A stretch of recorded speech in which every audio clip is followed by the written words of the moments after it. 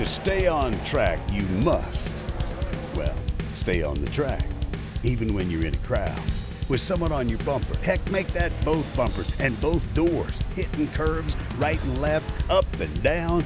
Ooh, keep those eyes on the road and maybe, but only maybe, your tires will stay there too.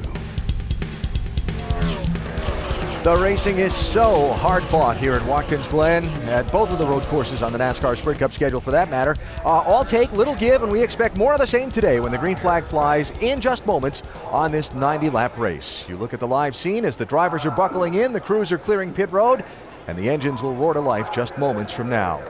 It was 1948 when they held a race on the streets of the village of Watkins Glen. A look at some of the scenes from the day, that tradition of racing that dates all the way back to that date continues today with the 30th NASCAR Sprint Cup Series event at this famed track. Allen Bestwick with champion driver Dale Jarrett and champion crew chief Andy Petree. A minute ago, we heard all about staying on the track.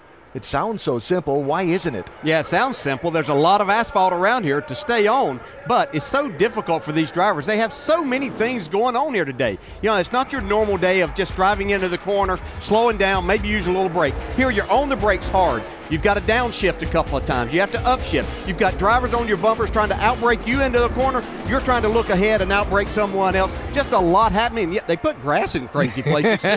yeah, and all these passing zones that we're seeing, there are opportunities to try to take advantage of somebody, and they it's a narrow part of the track. It's always where the track is getting narrower, and that's why you see people running into each other, and it takes that give and take. These races get kind of physical. We see tempers boil. More of that today.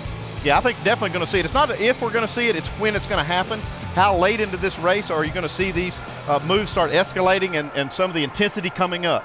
And there'll be a steady stream of cars onto pit road uh, throughout the race as well. Oh yeah, you want to be first in, first out of the pits. That's one of the big parts of road course racing is strategy. Yeah, and the driver's just going to have to do their part to stay on track so you can stay on that strategy. So, with all the strategy, the hard fought racing, there's the championship picture as well. Five races still to chase, and what could be a huge win for somebody is out there for the taking. Let's find out who wins starting now.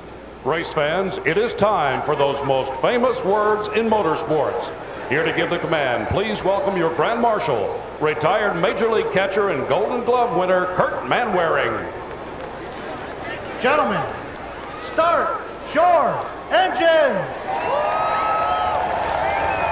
You know, before we pit on, on pit stop we're leaving. Uh, right there, you know, sounds good. Kind of and they're wanting us to crank them up. This connector right here, Bill, make sure it's real tight.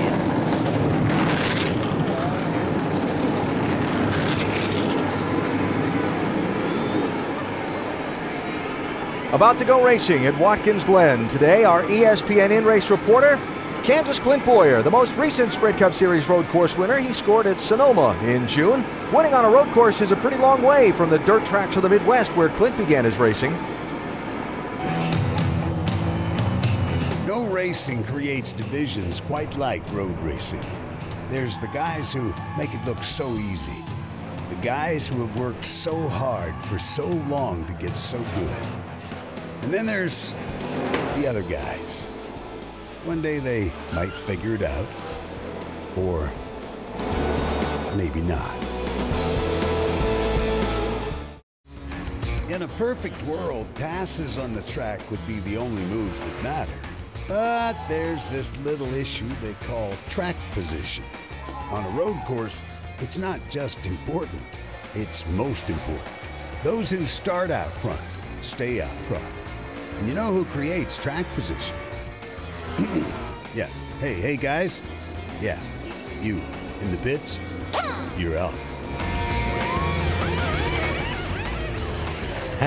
it's a big day for the boys on pit road today as the NASCAR Sprint Cup Series goes racing here at Watkins Glen. Field of cars still sitting warming on the pit lane. They'll roll out to begin the parade and pace laps in just a moment. Give us a minute to talk about this pit lane because at Watkins Glen, where, for example, making right turns is different than the normal weekly diet of all left turns, pit road is different than normal as well. The cars approach from the crewman's left instead of right. Everything's backwards.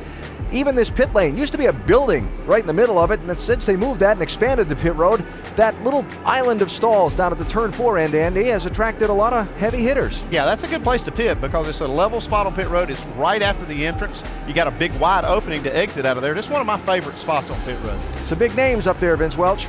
As you would expect, there are some key players down here, including current points leader Dale Earnhardt and five-time Cup champion Jimmie Johnson, and then also this team, the 18 team of Kyle Busch. Maybe the results for this group is, is crucial for any team in this entire race. Kyle says with five races to go before the chase, they must win a race. Speed, strategy, fuel mileage, they're all critical elements at Watkins Glen, but Kyle sums it up by saying, gotta win, we just gotta win. Allen? Hi, Vince, and a little further along pit road from where Kyle Busch is pitted is a guy he's probably going to have to outrun if he's going to win today. Yeah, there's some places right here on pit road. It's level. There's no openings here. There's only one opening on pit road, so there won't be any here, but you do have some some heavy hitters in this section as well, including Marcos Ambrose. Mike, nine car, big favorite today. Yeah, I would say, and Marcos Ambrose was recently asked what it's like driving a Sprint Cup car here at Watkins Glen. His response, it's like riding a bull because the car is constantly trying to throw you out of it. It keeps bucking and throwing you around inside that race car. The key is just managing it. That said, Ambrose has been the master of the rodeo, so to speak. In four Watkins Glen starts, he's never finished worse than third, including a breakthrough victory here one year ago. The question now is, can the man from down under finish on top again, Allen? Starting in fifth position today is Ambrose. In yesterday's NASCAR Nationwide Series race, two of the drivers that fought really hard for the win are pitted kind of close to each other today. Yeah, they're in, a, they're in a section, Allen, that's on the other end of pit road going downhill. It's not quite level there. And also, you've got a lot of cars coming in and out of their pit stall, so this can be a treacherous part of pit road. Dave Carl Edwards was yesterday's winner. He was, and it's a good thing that five pit stalls separate Brad Keselowski from Carl White here because Brad was one of the guys who was a little miffed at Carl's drive to victory lane yesterday. It was an aggressive run to the checkers that uh, ended with Carl Edwards' first signature backflip of the 2012 season. But that was nationwide. He has zero wins in Cup. He's got to stick the landing today if he's going to give himself a shot at making the chase. Allen? All right, Dave, thanks. And the turn one end of pit road is where a lot of the heavy hitters, the road course kings, are going to pit today. Yeah, they got this pit stall down at the end. The 42 team did because they sat on the pole. That's the best pit stall here. And if you make a pit stop under caution, this could pay off big. Juan Pablo Montoya is our pole starter today, Doc. And folks, what do you think of when you hear the phrase, do you believe in miracles? Well, of course, 1980 U.S. Olympic men's hockey team that pulled off the unthinkable miracle on ice not far from where we are today over in Lake Placid, New York. But that's also the phrase that Juan Pablo Montoya and his team have been using all day. You see, they believe they can win this race today and get another win the next two three weeks, maybe at Michigan or Richmond, and suddenly ease their way into the chase via the back door. And Messick, if they do that, that will be a miracle on asphalt. All right, Doc. We'll keep an eye on Juan Pablo Montoya today from that pole starting position in number one pit stall. In race reporter today is Clint Bowyer, starting in the eighth position. Let's talk to him. Hey, Clint, Dale Jarrett, the ESPN. You with us? Okay, bud. Hey, man, I know you've watched races, you've been a part of them. This turn one that you're heading down towards right now seems to be the big point of the race. When you're on a restart or the start of this race, what's your mindset going down in there? I don't know if I can tell you that on TV. It is the action-packed part of it, isn't it? I mean, I know you'd rather be on the inside, but there is a lot of pushing and shoving down there. I tell you, it's incredible, on especially on a restart towards the end of the race. It's just truly all hell breaks loose. Everybody, you know, got ground to make up. Uh, everybody's blocking.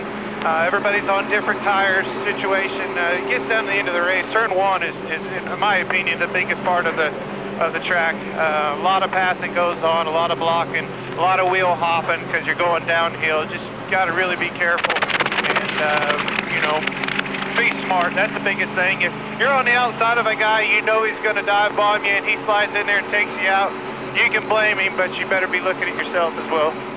Yeah, I hear you. Hey, Clint, our uh, mailbag question comes from Caitlin in Evans, West Virginia. They ask, after your performance at Sonoma, do you feel more confident going into this week's road course race? Yeah, of course. Anytime you know you go to victory lane on a track that's similar, uh, you know, I definitely have a little bit of confidence in my team. Brian Pattie and everybody in this 5 Energy Toyota built me a brand, you know, an awesome race car that we won with in Sonoma. And then we brought it back here and uh, had a good qualifying effort. I know the car's capable, we just got to get the driver there. All right, Clint, thanks for talking with us. You have a great day out there. Now, Andy's going to talk to your crew chief, Brian Pattie. Boys, thanks. Hey, Brian, it's Andy in the booth. These uh, these tracks are similar. The one that you won on out in California, and this one, they're both road courses. But what? Tell us what the big differences are, setup-wise or car-wise, between these two racetracks.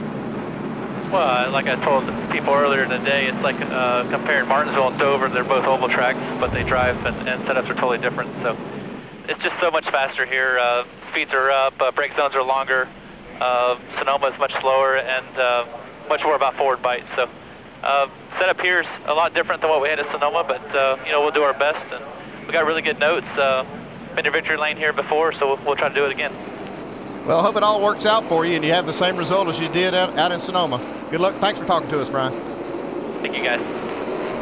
Clint Bowyer, our in-race reporter, our over-the-wall reporter today is the jack man for Landon Cassill. Nick Sutton, things coming at you from the opposite way today. Require a lot of focus. Best of luck to you today, Nick. Thank you. Pace laps take a while here at the Glen. We'll come back for the green flag in plenty of time. The Finger Lakes 355 at Watkins Glen about to get underway. We invite you to check out NASCAR.com slash RaceBuddy and watch coverage live from the Glen by following your favorite drivers for free with eight live camera views.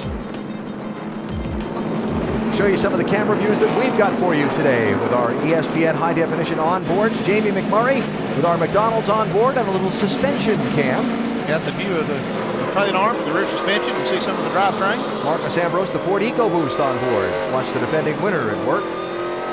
Tony Stewart, the fresh from Florida Gulf Seafood, in the front bumper camera. Think he'll use, use that, that. today? Mm-hmm. Clint Bowyer, our in-race supporter, the five-hour energy on board.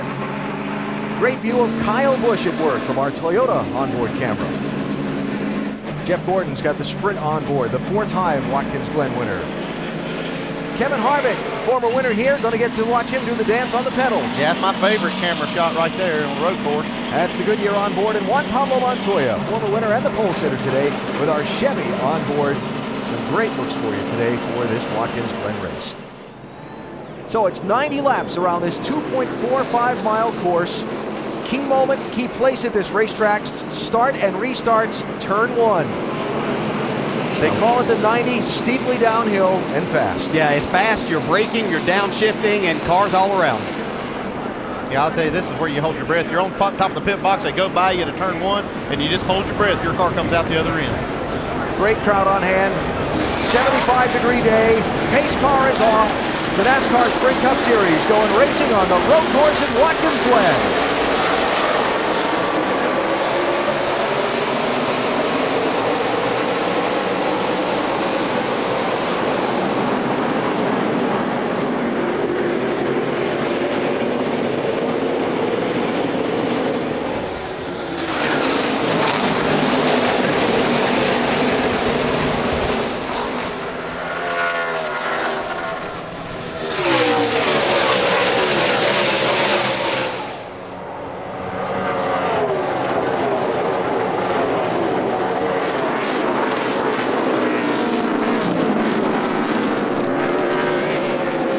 Inner loop for the first time. Another one of those great passing opportunities, but great trouble opportunities.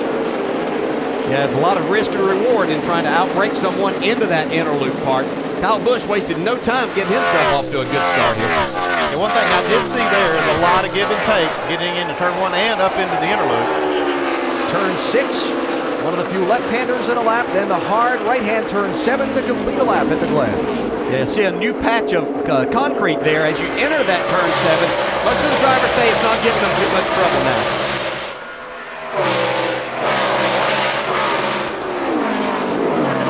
Here Ambrose, going to jump out of line, try and get a spot on Ryan Newman. Ambrose in the nine. He makes that look so easy the way he does that, but I'll tell you, it takes a lot of skill and technique. It does, and he passes more cars here than anyone else I've ever seen race it on this road course. It doesn't matter where he starts, he just have, finds a way at these high braking areas in particular, make it look easy and make the pass.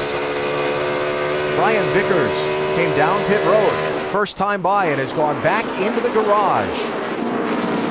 Follow up on that in a minute. Second, third, and fourth, Montoya 42, Keselowski 2, Jimmie Johnson 48. Yeah, Johnson's looked twice there to the inner loop to the right side of the two-car Brad Keselowski, but I'm not sure he's doing that or just blocking behind him more because he really hasn't been close enough to make a pass.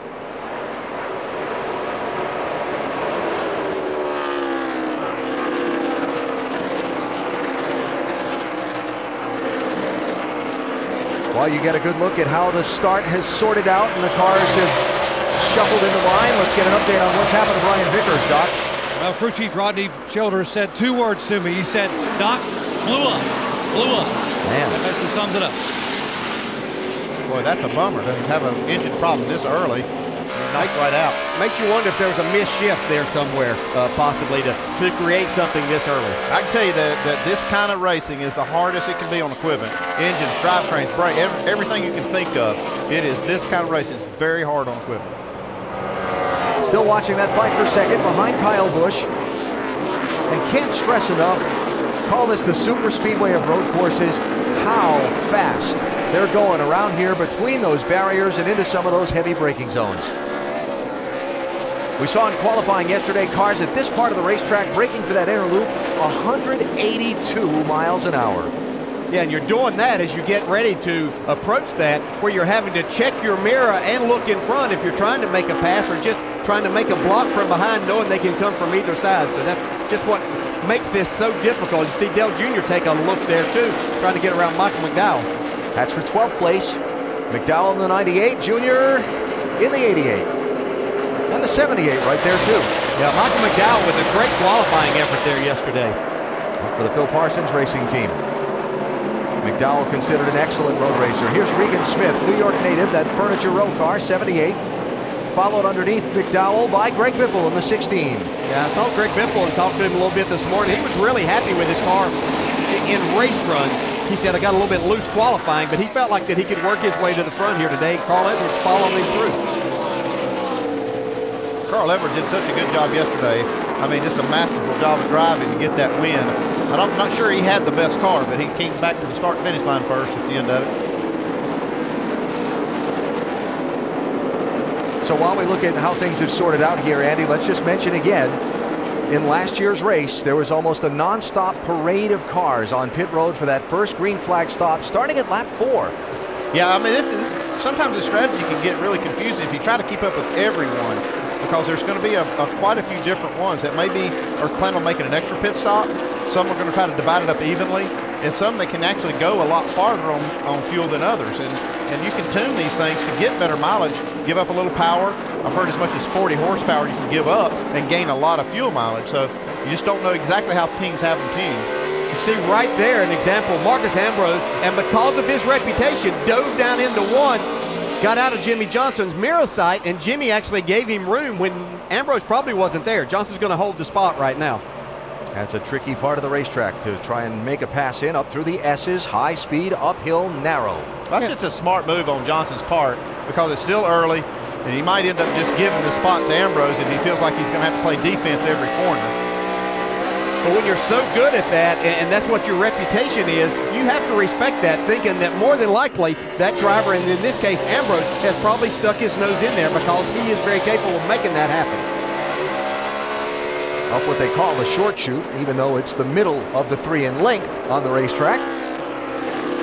Still, you carry a lot of speed there. You downshift into this uh, left-hander turn six, so you're carrying a lot of speed. You have to match the RPMs. You don't want to get wheel hopping into that corner either. Ambrose setting him up for a run down the hill to one. Kyle Busch leading, Juan Pablo Montoya second. Montoya started on pole. Kyle started on the outside of the front row, but on the brake on the initial start, running up the hill into the S's. It was Kyle who squeezed by Montoya and cut himself out front.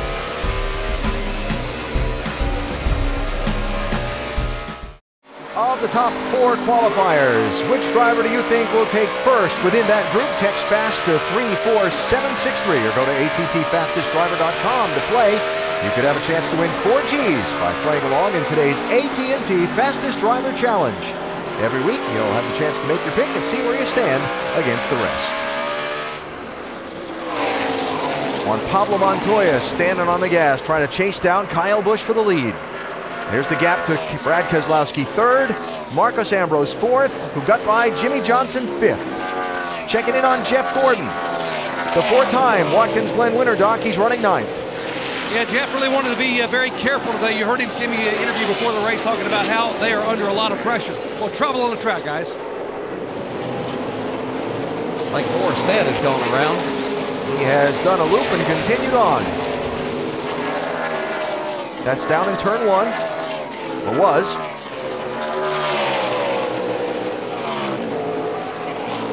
And a lot of times when somebody gets off in turn one, it means one of two things. They wheel hopped it into the corner, or somebody tried to make a move to the inside and forced them offline. Looks like it was the latter, Allen. Got a little help. 34 car of David Ragan. Pretty good save, though. Got a lot of area over there to save the car. They've done away with all the gravel that they used to have uh, over the years, and now they can just use that asphalt and stay out of trouble, get back out on the track, and not bring out a caution. That's what we had there. Okay, we we not so rudely interrupted Doc's report on Jeff Gordon. Doc, want to resume that? That was Boris Center did that, by Yeah. the way. Yeah. Anyway, uh, Jeff Gordon has his hands full right now. Why don't we listen in? Loose in, tight in the middle, loose off. That's one. Terrible off the carousel. I mean, just pathetic. Yeah, we see you. And Jeff actually now now saying in the radio the car is really, really loose off, trying to hang on. Although Jeff Gordon is a four-time winner here, he has not had a top 10 finish at Watkins Glen the last five times he's been here. He knows they need a top five today to try to hang on to that wild card spot for the chase. That's the area right there he's talking about that he's terrible. He has turn five. You'll hear it called the carousel a lot. See Tony Stewart there making a pass on his teammate. But uh, that is a, an area, that hard right you're coming out of there, you need to put down a lot of power getting out of there. And if you're not handling there, you're going to get past a lot up to turn six. Yeah, that's a, one of the places you really got to carry speed. You got to carry a lot of throttle and use that part of the track on the exit uh, to catch the car. You see them go over that curb a lot, carrying a lot of speed, and you got to be good there. So Tony Stewart, uh, with that pass on Ryan Newman, moves up to sixth. Newman back to seventh. Gordon running eighth with Clint Bowyer and Mark Truex Jr. right there in that group. Stewart, the five-time winner here, Doc, has moved up a little bit. Yeah, he has moved up, but he's got an issue here. And I want to ask our crew chief upstairs what he thinks. Now, what Tony Stewart just told Steve Addington a moment ago was, hey, Steve, I'm tight to the left. I am loose to the right. You got me? Tight left, loose right. Andy, how do you fix that? Well, if you're tight to the left and loose to the right, then what you want to do is you want to put wedge in it for the right-handers, which is kind of opposite of what you do on, a, on an oval track, and it's going to have the opposite effect. It'll actually it'll it'll make the car tighter one way, and looser the other, which is what you need to do here. So, to me, a wedge adjustment in this case would be better than say a track bar adjustment or, or maybe even an air pressure adjustment. Isn't it wild watching them use that paved runoff area and hop over that curb off that carousel, even here at turn six? You know, as they put more and more pavement down at this place, these drivers have just found ways to use it. All right, here's a look at how they run. 12 laps in. Fourth place, fifth place, sixth place. 10th place car is the 56 of Truex. Here's the second group. Carl Edwards has moved up to the 11th spot.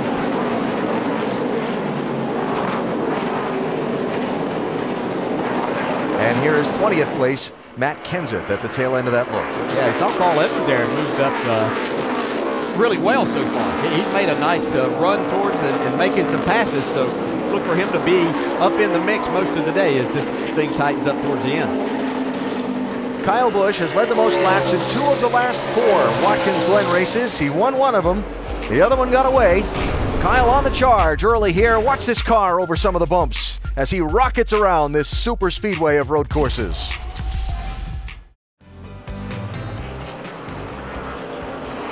Caution free so far here at Watkins Glen with Kyle Busch leading all of the laps so far. He's opened up, Vince, a one and a half second lead on Juan Pablo Montoya. He says the car is pretty good, a little tight in some sections and a little free in others. One area of concern for this team, though, today is the braking, especially late in the race when you've really got to have those brakes, because twice this weekend they have damaged and broken the fan that cools the left front brake caliper. In fact, they came in this morning just before race time, and as they were going over the car and discovered it had been broken for a second time, so they had to replace it again. Now take a look, the left front of the car, watch, you can see it flex as it goes over those rumble strips, and that's where that uh, fan ends up getting damaged, and cooling those brakes is key for success here at Watkins Glen. Yeah, you know, we talked about how hard the, all the parts of the car get stressed so much here, and every single thing, I mean, just like that right there, going over these curves is so violent, and that's a great camera shot to show that. It happens so quickly, you don't think much of it until you can slow it down and just see just how much that stuff's moving around. What a win would mean today for Kyle Busch. He's had such horrible luck that's dropped him not only out of the top 10 in the championship standings, but right now out of a wild card spot. A win gains him points on the other guys he's racing with with a similar number of wins and also bumps him back up over Jeff Gordon in those standings. Jimmie Johnson running in fifth position right now. Doing fine, bud. We're running probably about a half a second to six tenths off the leaders right there, but plenty fast enough to stay in the top 10. You're doing good. Remember, man, we got to get everything we can. I know you're trying, but in order for this deal to work out, we got to try to be a little faster. Here we go, man. So in order for this deal to work out, comes back to my interpretation, strategy. When you're going to make your pit stops and where you're going to come back onto the track in relation to other people. Yeah, I'm just trying to think if maybe he, he might be thinking about a strategy where they make an extra pit stop and they need to run faster. I'm trying to interpret that, but he's still out on the track at 16 laps. I'm not sure exactly what strategy they're dealing with. Speaking of strategy, first move to pit road among the leaders is Ryan Newman's, Doc. Yeah, first volley in the fuel mileage game being fired you know, by Tony Gibson. Now it's going to be a three fuel stop race for these guys. Making it in two would be close, very, very close. Four tires. Remember, Ryan Newman's never won on a road course. 16 wins, but never on a road course. Four tires, no changes. Their next stop window around lap 34 and 37. It's Michael McDowell also on the pit lane making his first stop in the 98 car.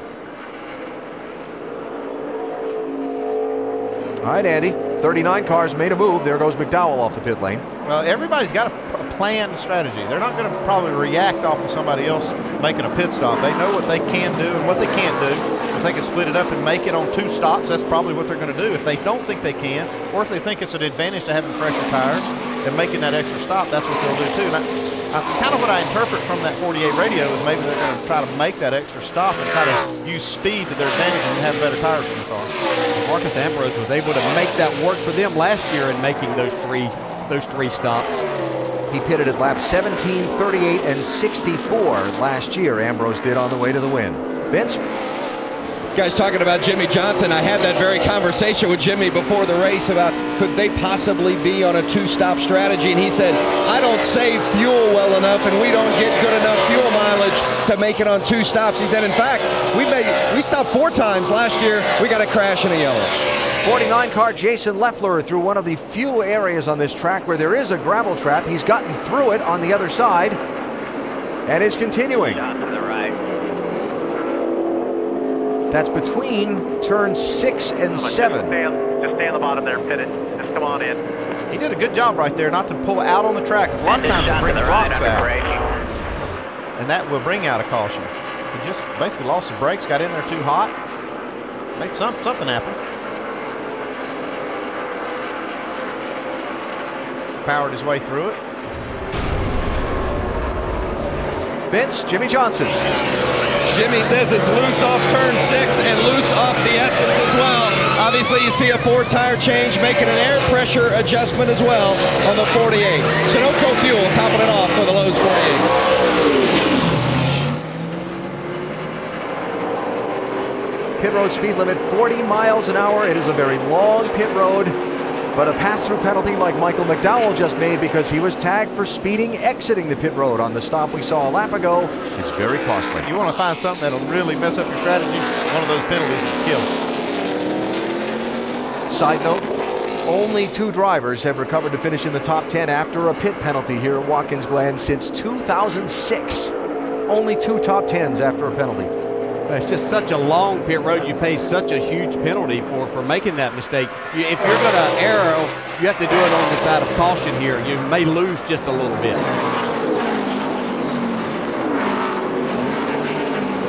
There's fourth place Ambrose and a good gap back to this race for fifth with Tony Stewart and Jeff Gordon, the lap car of David Ragan. Between them, Ragan pitted after the contact he had with Boris Said earlier they had some left front fender damage they needed to pull out.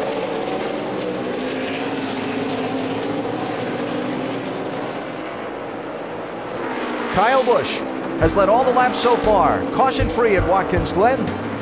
There are your top five drivers coming up on the one third mark of the race. The Finger Lakes 355 at Watkins Glen. NASCAR.com has all your latest NASCAR information. Beautiful look down on this 2.45 mile road course as the NASCAR Sprint Cup Series races here for the 30th time.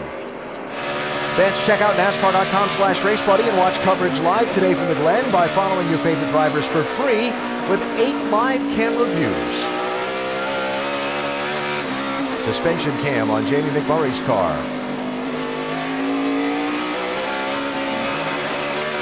Marcos Ambrose and Bobby Labonte made green flag pit stops during the break. That is Stephen Leicht in the 33 pulling out the black car while Jeff Gordon rolls down to the attention of his crew, Doc. Yeah, the four-time champion and four-time Watkins Glen winner. You heard him on the radio talking about how loose the car was, particularly from the center of the turn off. They're going to take air out of the tires and go down on the track bar. Outside tires on, come around to the inside. And there is, is the track bar adjustment as they top it off with Sunoco. Mike. Kevin Harvick saying he's tight to the left in the S's. They're going to change the air pressure back to the settings they had in practice. A four-tire change, he's away. 36 car Dave Blaney is the white car following Kevin Harvick down the pit lane also. Harvick, former winner here. Certainly could use something good to happen because it has been a not as good a performing as we expected stretch for Harvick in that 29. Here's Brad Keselowski. Dave? Brad has said that this car is tight all the way through this uh, course today. It will not turn for him, even though he's been running up in the top five. A good run for him so far. They're going to make a, looks like a wedge adjustment for him, full of Sunoco fuel, slight air pressure adjustment as well. The five of Kasey Kahne is on pit road as well. Kasey's biggest problem is his air conditioning unit began smoking. It was filling his helmet with smoke, so he disconnected it entirely. His car also won't turn, so they'll make a four tire stop. They'll make a track bar adjustment on the five. That can't be a comfortable feeling.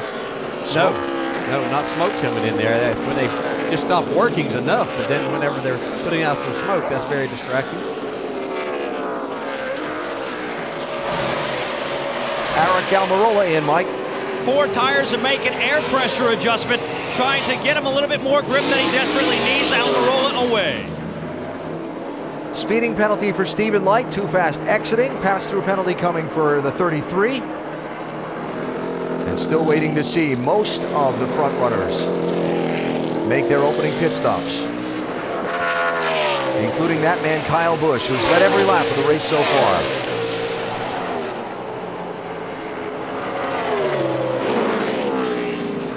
Been watching some of the lap times and seeing how much these new tires are worth. Watching Jimmie Johnson's lap times versus Kyle's. He was losing about a half a second a lap to the 18 before he pitted. Now he's gained, he's gaining that much and maybe just a little more, maybe about seven tenths a lap on the new tires.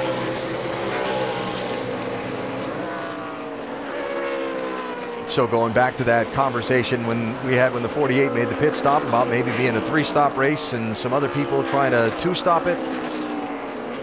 A lot of times you're just forced into it. I mean, talk about the 48 team really has not demonstrated the ability to get good mileage, good enough to make it on two stops. So then you're kind of stuck with that. Try to make the most of it. Jamie McMurray, trouble. That is at the inner loop where he is. The damage on the left side of the car probably tells me he has some trouble up in the S's somewhere. That's where I would guess that that trouble happened. Tire back there. Possibly I'd blown a tire.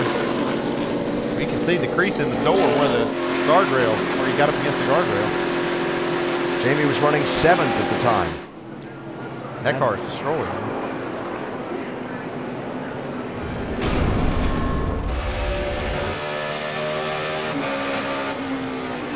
By two. There's nowhere good for that tire to blow, but that's one of the worst spots. We just wrecked.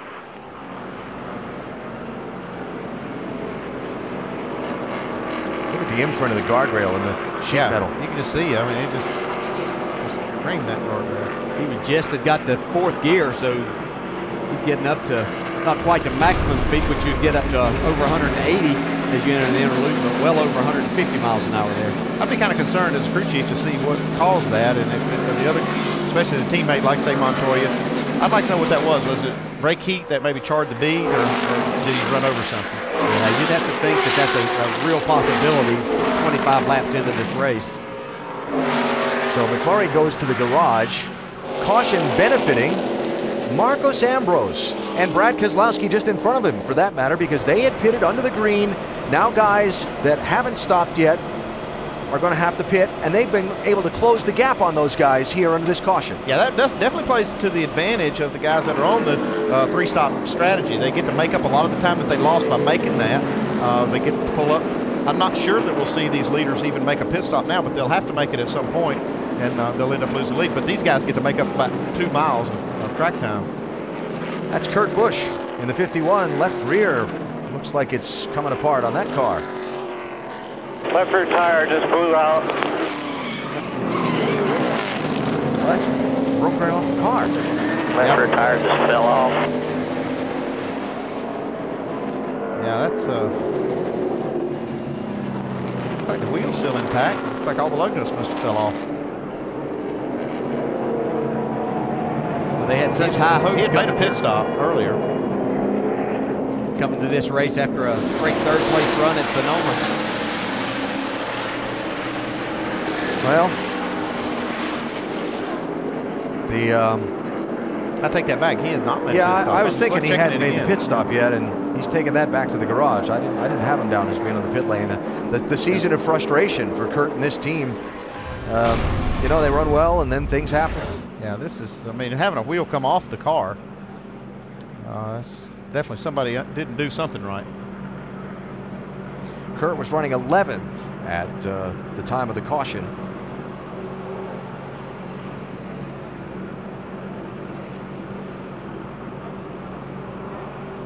Oh, that's bizarre. Yep. See all the wheel spacers flying off of it.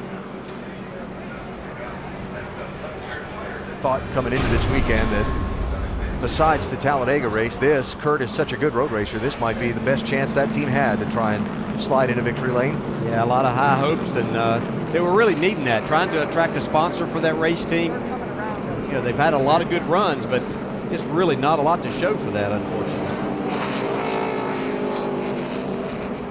All right, bud, let me give you a rundown. We're going to pit a couple laps earlier than I wanted to, but I think with cautions and our fuel mileage, we'll still make it. A lot of guys have pitted 10 laps ago, so they're obviously going to be in front of you. They're running the same speed as you on stickers as you are on 25 lap old tires.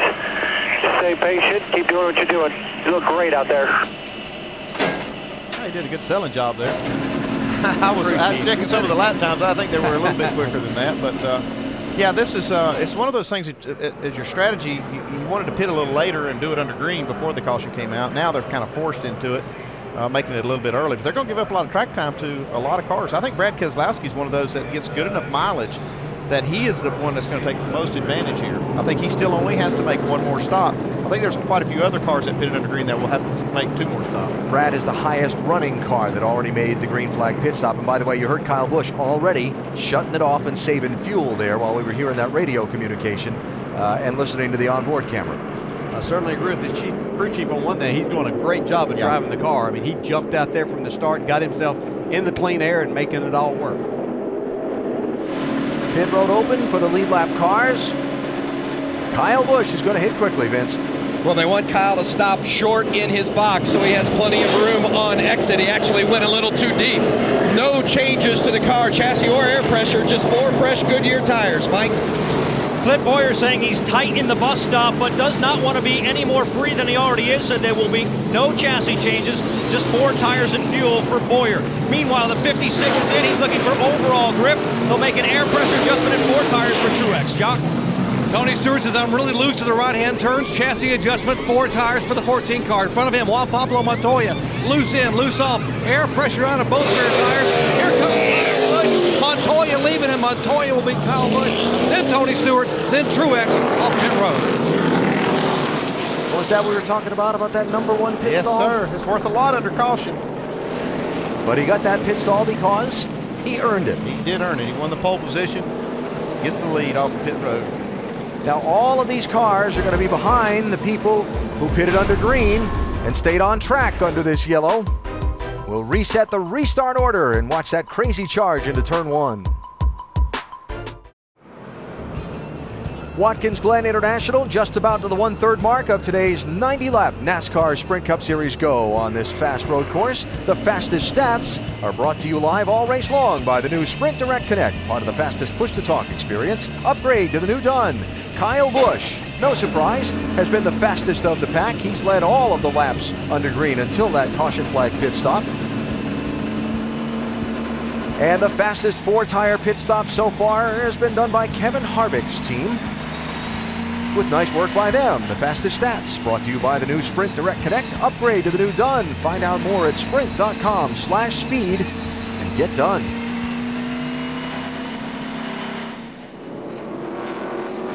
Tony Stewart is going to have a big hole to dig out of in this race. Remember we were talking earlier about pit penalties and only two top 10 finishes on road courses in a while?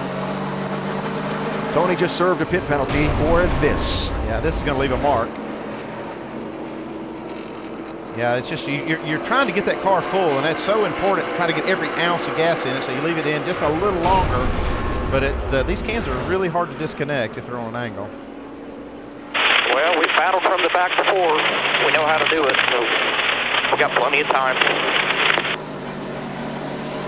Well, there's no better driver making passes and getting it done around here. He's won five times, so he'll have to use all those skills to make it happen today. Tony was third just before that pit stop, removing equipment from the pit box. Not allowed. And maybe a part of that also is that whole backwards thing, too. It is. Yeah. Uh, Joey Logano's been on pit road forever during this caution, Mike. Well, Allen, you remember at the top of the show how I said Marcos Ambrose equates driving a Sprint Cup car here to riding a bull?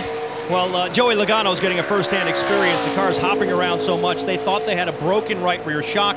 They came down pit road, they replaced it, didn't feel like that, corrected it. They came back down. Jason Shapiro went under the car to look to see what was wrong. They haven't found out just yet, but obviously they're trying to sort through it, Allen. All right, Mike, thanks. Joey was 16th before the caution. He's going to be all the way back at the end of the lead lap, probably somewhere around 34th in line. So, all these cars up the front did not pit under the caution flag. The uh, first off the pit lane, Kyle Busch restarts seventh, and Ryan Newman pitting as the green comes out, reporting a flat tire. So a lot of give and take there down in turn one. Ambrose slipped wide. Jimmie Johnson looked like he's going to make a move on Keselowski. Settled back in even behind Ambrose, and Gordon giving Johnson a ring. Yeah, I thought uh, Keselowski just did a flawless job on that restart by not overdriving turn one and coming out of there with the lead. Not sure how much give and take we're going to see right here. A little taking. Like Bowyer gave it to him. Seeing a lot of dust flying.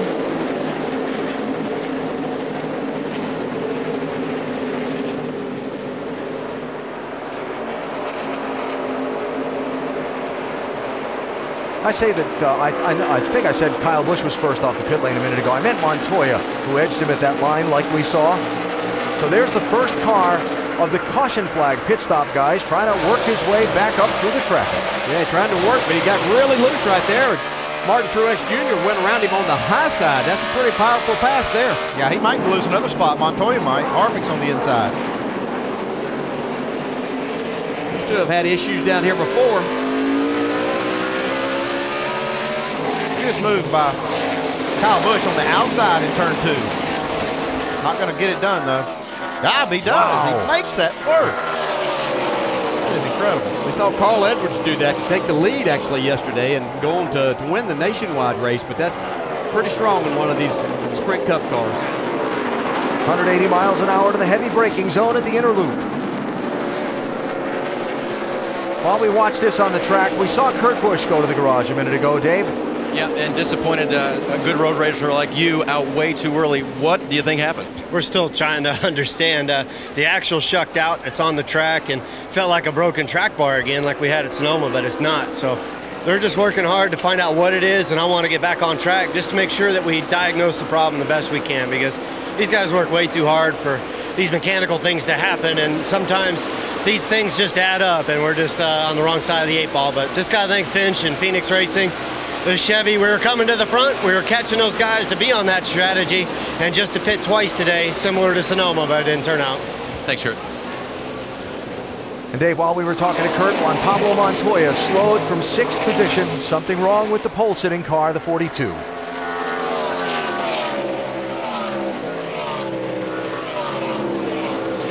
He's trying to make his way back to the pit lane. There he is. Something broke in the right front.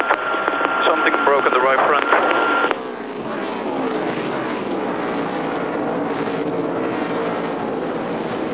Doc, here he is.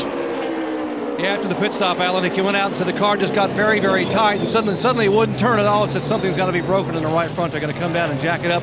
Actually, uh, they talked about raising the hood and taking a look. Yeah, Doc, Yeah, I think they're going to find it's the left front. Yeah, because is the left front. He said right front that a moment ago, but they're going to look in the left front. And Andy, never a good sign because the driver goes out immediately, he, DJ, and they know when you break something, the thing won't turn when it has to on a road course, right there. Yeah, it, what happened, it looks like it may have been a lower control arm that has broken. It's one of the control arms. And like I said, it's just hitting these curbs. Everything about this style of racing is so hard on the car. Right there it is. Something broke. ball joint Something broke in the right front. Something broke in the right front. And Doc hidden from you because it was on the opposite side of the car. When he came to, to a stop in the pit box, that left front tire was just wobbling like that. So Yeah, it took the crew a second to try to find it. They were looking on the right front 'cause that's where he said, but it was actually the left front. And as you were saying, these cars take so much abuse with these drivers running over these curbings and everything that they're doing. But they make these parts so light now to try to you know get a lot of weight ballast in the cars and everything. So just amazing they hold up as well as they do. Yeah, it's a double-edged sword. You try to build everything as light as you can for speed, but then you still have to have durability because these these drivers are gonna they're gonna venture off the racetrack onto these curves. The uh, car count in the garage is growing. Montoya's headed there, Dave, and Logano's there now. Yeah, yeah, we'll get with Juan in just a few minutes. But uh, parts ripped off of Joey Logano's car. Joey, do you know what and where yet? Yeah, well, I felt it about 10 laps before that caution. I felt it start bouncing really hard in the rear. Ended up ripping the whole mount, the whole shock mount right out of the uh, chassis. So um, it'll be a little bit. We'll get back out there. They got a weld a new one in there. So uh, it's a bummer. You know, um, I felt like we were a couple adjustments away from where we needed to be, but I felt like we can get it to where we need to be by the end of the race. And um, we'll go out there and try to salvage everything we can get. Um, I mean, in the point position we are right now, it was all about wins going into this race. Now it's even more about wins. So we'll try to salvage what we can with our Home Depot car and um, go at it again next week in Michigan. Been a tough weekend for Joey here at the Glen. Trouble yesterday in his nationwide car, and now in the orange number 20.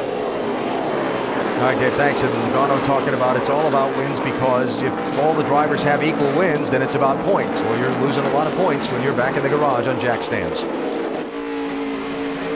Kyle Busch in sixth place.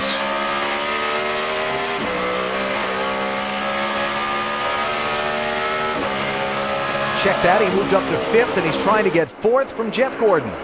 There are the top three. Okay, I had that backwards. he's trying to get fifth from Gordon. As Truex got by Gordon also. Brad Keselowski leading in the NASCAR Sprint Cup Series race at Watkins Glen. It's been kind of eventful here lately. Watkins Glen International live NASCAR Sprint Cup Series on this high speed, hard on equipment road course. There is the race for the lead. Brad Keselowski in the two, being dogged by Marcos Ambrose in the nine. Johnson in third, Truex, Kyle Busch, Carl Edwards, Kevin Harvick, Dale Jr. running in eighth. Clint Bowyer, our in-race reporter, running ninth, but reporting a problem on that machine. Mike?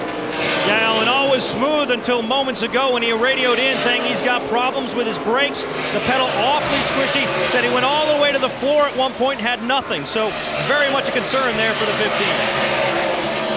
Yeah, that's a concern. Yeah, because that's that's not going to get better throughout this day. So it may be a situation they may have to come in, get some fluid in this, and, and bleed the brakes, which is going to take a while. Yeah, they may end up having to change calipers and all. We're not even halfway.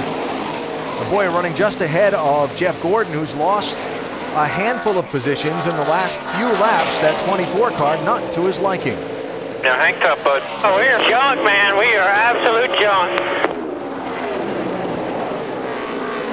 He's lost a lot of spots here in this run. I don't know what's wrong. We heard he was loose earlier. Thought maybe we saw a little fender damage, but uh, he is. I'll go along with that. He is kind of junk right now. Yeah, we know some of these other cars. They got tires on that last caution.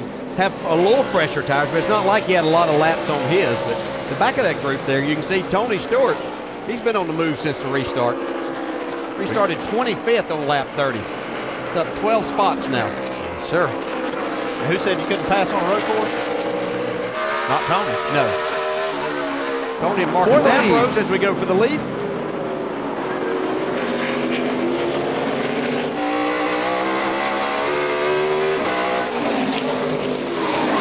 What a surprise. Marcos Ambrose is leading at Watkins Glen.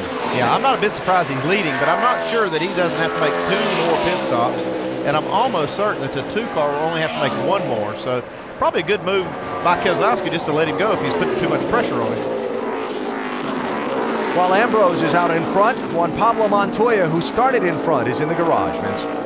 In fact, problems for both the Ganassi cars, both in the left front portion of the car. How about yours, Juan? Uh, exactly what was the issue with that I situation? think it was the lower control arm. You know, everybody in the Starry Chevy has been doing an amazing job. You know, got the last two poles, and you know, I did think we had a car to win today. We, you know, we I ride behind Kyle. We kind of bucked down out of the start, and Kyle got us, but I rode behind all the and we got a good pit stop and got ahead of him, and it was looking really good. Everything like it was going according to plan, and. Uh, the car started getting really tight, and also when I hit a curb, and the car went completely left on me. So try to get back out. I think so. We're trying to fix the score a little bit of points. You know, it's been I think it's like be like my fifth DNF we wouldn't finish. So it's been a tough year. Allen. It has been a tough year, and Montoya, one of several back in the garage area as Watkins Glen has taken its early toll. We're just shy of halfway. I just want to mention, by way of full disclosure, Know there's only a 30% chance of scattered showers today, but as we look at the radar west of the racetrack, there are a couple of those scattered showers. We'll keep an eye on it and hope it scatters away. Marcos Ambrose leading at Watkins Glen. Just a few laps from halfway of today's NASCAR Sprint Cup Series Finger Lakes 355 at Watkins Glen International. The race being led by the defending winner Marcos Ambrose, who is out in front after passing Brad Keselowski a minute ago. Let's reset where we are with our fresh off the wire served by KFC. Kyle Busch led the opening run of the race after getting the jump on Marcos Ambrose from the initial start.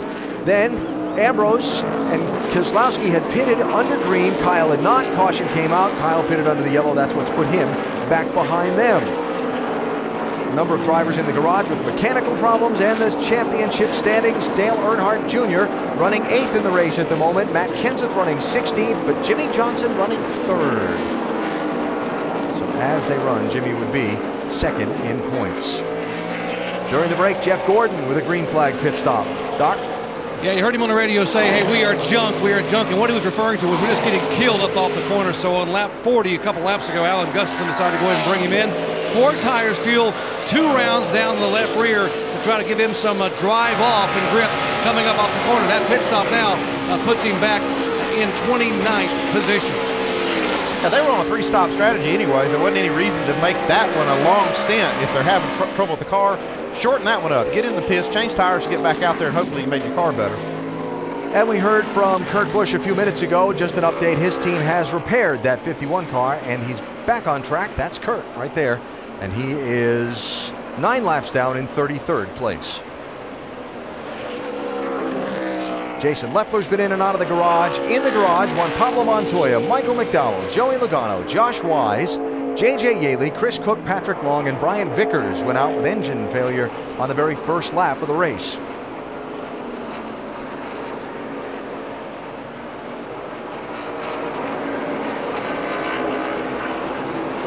Here's a look back through your top 10.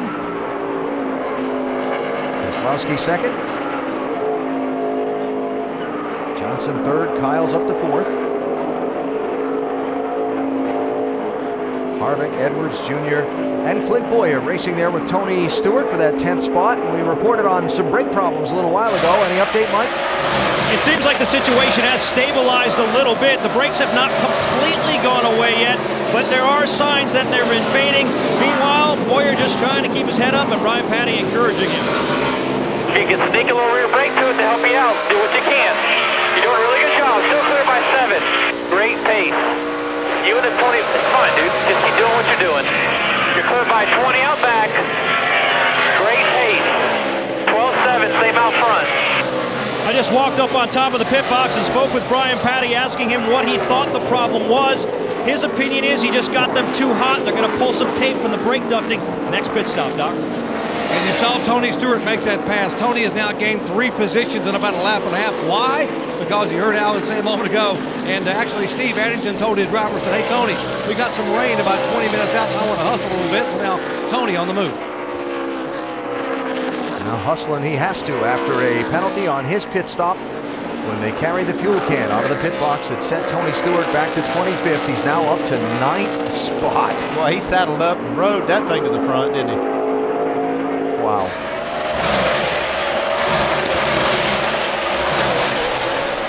Kasey Kahne tried to crack the top 10 in the five car.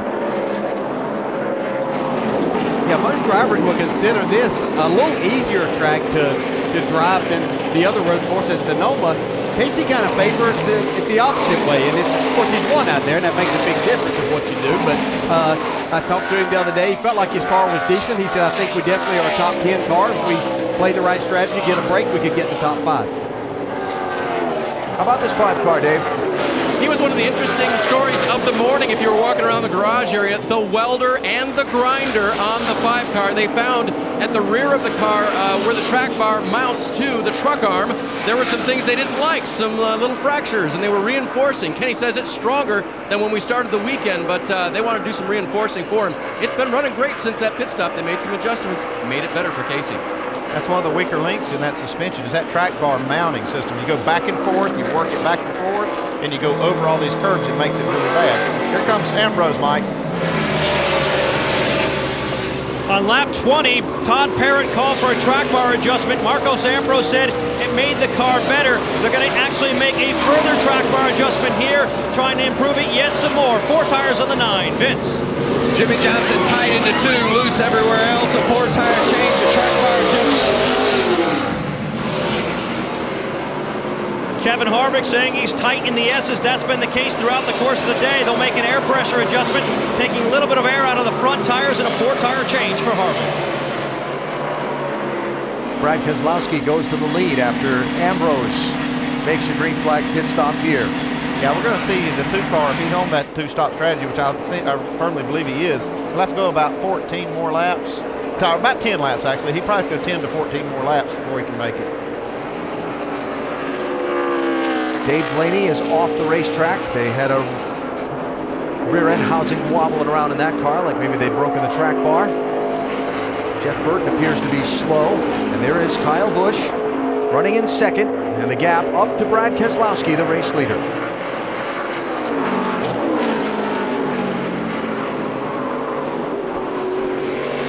Well, strategies being played, cards are being placed on the table, those chips are being emptied up too. What's going to be the winning strategy today at the Glen? Just past halfway at Watkins Glen for the five-hour uh, energy rapid recap. We'll get us caught up with what's happening so far. Some pit strategy. Marcos Ambrose on the three-stop strategy.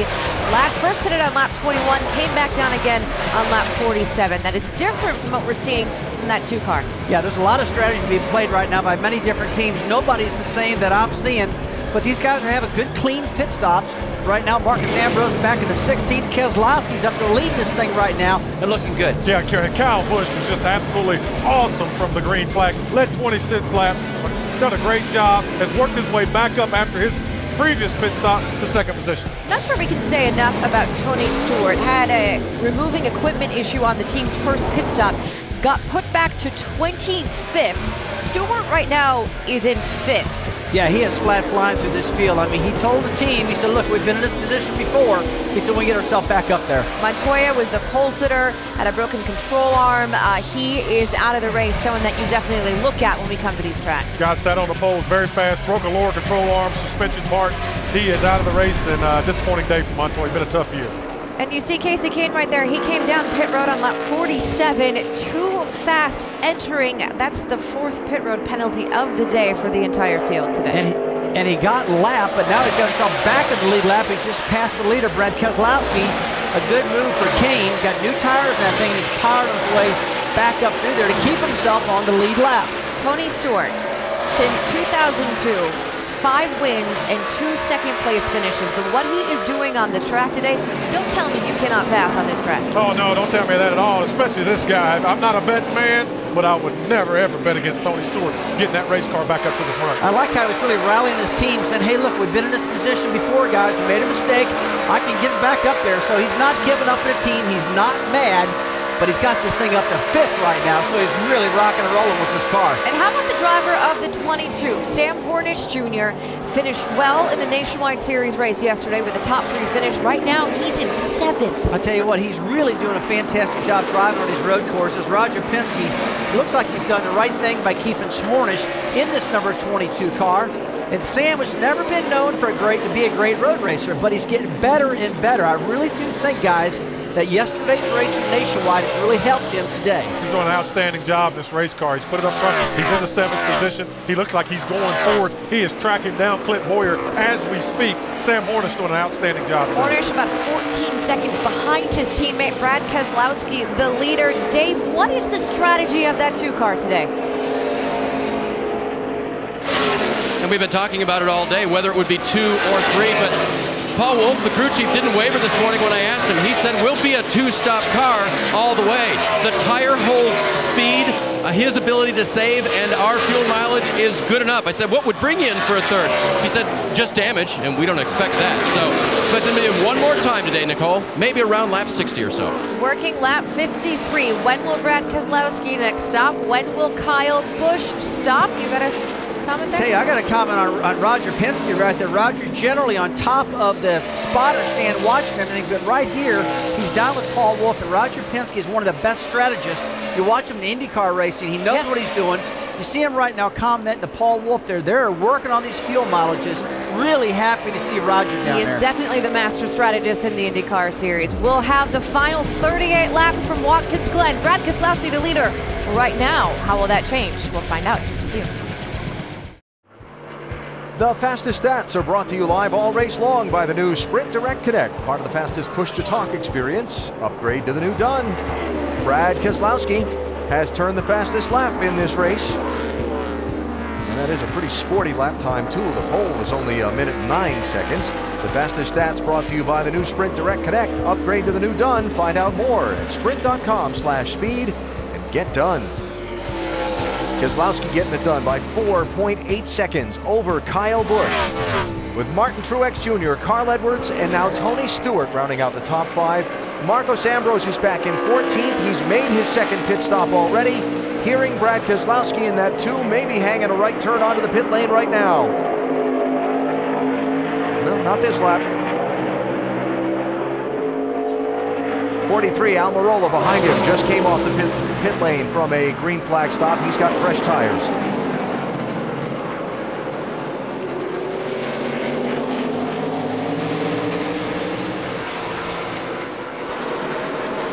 Tony Stewart. Remember that first pit stop didn't go so well. So Doc, they'll be needing to make this one clean and quick. Absolutely. Big Jeff Goose Patterson is the gas man here. And if you jerk a gasket out of his hand, you've done something. So we'll watch and see what can happen. Tony said the car a little bit loose on the right-hand turn. they're going to be very close to making it on field. In fact, they may need a half a dozen yellow flag laps to be able to make it from here to checker flag. Inside tires going out. Now Goose got the gas can in. The adjustment system can is out, and smoke is gone. All right, Doctor, while we keep an eye on the leader coming up in the opening to pit lane again, we'll tell you that Joey Logano and Juan Pablo Montoya have come back onto the track from the garage area. Jeff Burton has gone to the garage area. And here's your leader, headed for pit road. 40 miles an hour, the pit road speed limit. A penalty now would be devastating. And again, a clean and quick stop, the order of the day for Penske Racing and Brad Keselowski, Dave. And Allen, he shouldn't need much in the way of adjustments. He's been pretty happy with it. He said it was lacking a little bit of forward bite and a little bit of turn. But he said also that he saved his team three or four laps of fuel while on the track. That helped him back away from the lap 60 pit and pit sooner. Now I think we're going to call it 56 or 57. He'll get a track car adjustment with that. Mike? Clint Bowyer on pit road now as the team goes to work on that car. Remember the brake problem they were experiencing. They pull some tape. You can see it right there from the ducting trying to cool it off. Vince? The 88 of Dale Jr. just leaving his pit box after a four tire change and air pressure adjustment trying to tighten him up. There's Greg Biffle, Doc. Yep, Greg said I'm loose both ways. They're going to put the air pressure back where it was. Going to go down on the track bar a little bit. Four tires fuel. They might be able to make it to the checker from here. Down on the way, flawless pit stop. Oh no, is Truex out of gas? Well, it sure looks like it. That's a, about the worst place you could possibly be out. Caution for oil, possibly from this 11 car. Well, I'm going to not say possibly anymore. Yeah, that's a that's a blown engine for sure. You can see fire under the hood or under the car. Denny Hamlin's nightmare at Watkins Glen of the last few years continues. Well, he's not had any luck here, has he? I'll tell you, this is a huge break, though, for Brad Keselowski, just making that pit stop before this yellow. When a couple of cars that look to be on the two-stop strategy, Kyle Busch and Carl Edwards, still out there, though. Yeah, that's this is actually probably cost Kyle a lot because he'll have to make a pit stop here and try to gamble on being able to make these last 31 laps, I guess, after he makes his pit stop. He's going to lose a ton of track position. Now Truex out of gas, so the caution, but pit road is closed here, and he's in, so he's going to have to start at the back of the line. And Yeah, he didn't have any choice. Out of What a fuel. He come in. He was going to be way back anyway by the time that they stayed green and, and be back there. So probably going to be no worse off than what he would have been.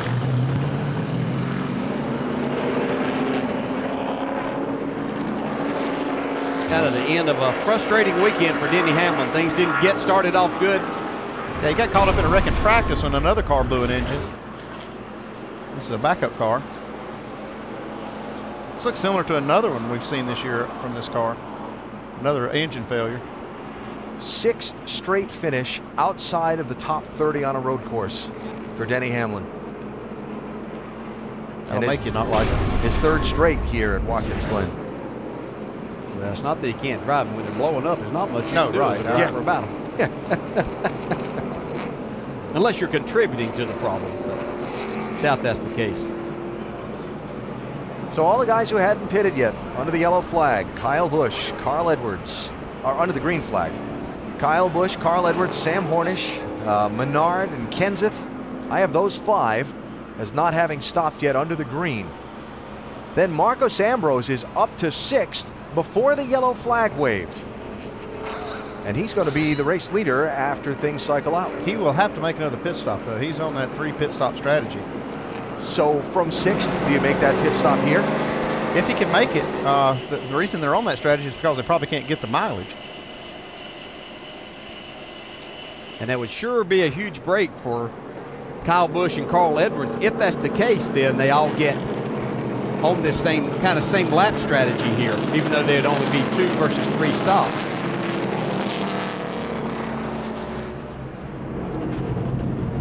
Well, we'll find out right now.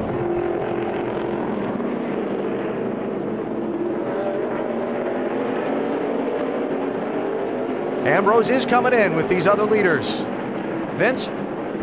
Well, Kyle Busch was just getting ready to come in when that yellow came. No changes on the car, just four tires and fuel. They're hoping that that yellow didn't cost them. Mike? There was some concern in the 22 camp that they might not have enough fuel to even make it down pit road. They were that close. They'll gas it up. They'll make a chassis adjustment because it's been tight, especially in the carousel and a four-tire change for Hornish. Dave. Carl Edwards was worried about the very same thing, whether or not he'd have fire in the hole. Right now, he does. The car is working. Wedge adjustment tight in the right-handers right now. Doc. Jeff Gordon just apologized to the crew, guys. Said, guys, I'm so sorry. I'm doing the best I can. We just don't have any grip.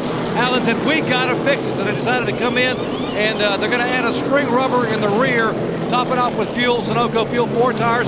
They got to help him get some grip getting up off the corner. He's away. You're going to see Carl Edwards. Well, he won't even show up on this No. because he's not in the top 10 still. He was in there forever. Maybe had some trouble getting fire up in that car because he might have been out of fuel coasting to the pit lane. Caution out just the second time. Under caution at Watkins Glen reminds you that some more great road course racing for the NASCAR Nationwide Series next Saturday from Montreal. It's been a wild race in the entirety of its history. 2 Eastern next Saturday on ESPN. And next Sunday, back to the high speed super speedway action at Michigan. In the Pure Michigan 400 newly paved track, little 28 car tire test. Got some problems from June sorted out. And we're looking for a great race starting next Sunday at noon Eastern time here on ESPN. Cleaning up some oil from Denny Hamlin's engine failure that put us under this caution. In the Finger Lakes 355 at Watkins Glen. And a reminder to check out NASCAR.com slash RaceBuddy to watch coverage live from the Glen. Follow your favorite drivers for free with eight live camera views. So, who was helped by the caution? Who was hurt by the caution? What's the big picture for the restart? And how wild will the turn one restart get? The answers to these and other questions when we come back to Watkins Glen, they're still cleaning up. We'll take a break. Oh, and then NASCAR just called one to go, and there's the signal out there in the inner loop. So let's do a wave off on that commercial break and get ready for the restart. wave off and wave arounds here. Two cars taking advantage here. All right, so look at them as they come by here. Brad Keselowski, Tony Stewart. Uh, Truex is going to have to pull over and go to the back because he pitted too soon. Then you're going to have Bowyer and Earnhardt Jr. as uh, cars who did not pit under this yellow, who stopped under the green. Then you're going to have Kyle Busch right up there, along with Kenseth and Ambrose and some of these other guys who pitted under the yellow flag. Advantage, disadvantage. Dave, how about the uh, leaders crew chief? And the leader told me this morning, we are talking about that tire holding speed. You've got a couple less, you've got a couple less laps on your tires than the other guys. Can Brad hold them off? Yeah, I think so. We've had a good Miller Lite Dodge all day. It's just, uh, like I told you earlier, we just got to play our strategy, uh, run our window, and uh, we've been able to do that. And, you know, we've had a little luck on our side with the cautions falling to help us out. So uh, I think everybody's good from here. So hopefully we can keep this thing up front and uh, find ourselves in victory lane. He told Brad as much. Every, everyone has pitted for the last time, so go race it out, Doc. And Tony Stewart's crew chief Steve Addington had four calculators going a moment ago when I went up to talk to him. I said, Who has the best calculator? He said, Hopefully, the guy in the car, Tony Stewart. He knows we need about three more laps of yellow to make it, but uh, he's really good at saving fuel, which is what he's doing right now. We just add Greg Biffle to the list of guys who pitted under the yellow. Kyle Busch is going to be sixth on the restart. Yeah, and I'm watching this uh, 15 car, Clint Bowyer. He's had brake issues. What's going to happen on this restart as they go down into turn one?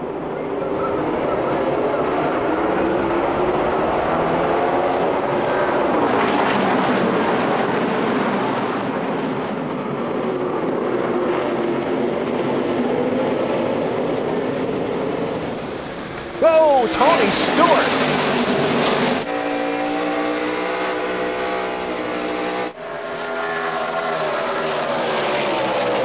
Marcos Ambrose in that nine car knows that right now he's got to make up as much as he can these fresh tires on this restart, get as many cars as he can to get himself back in position to win.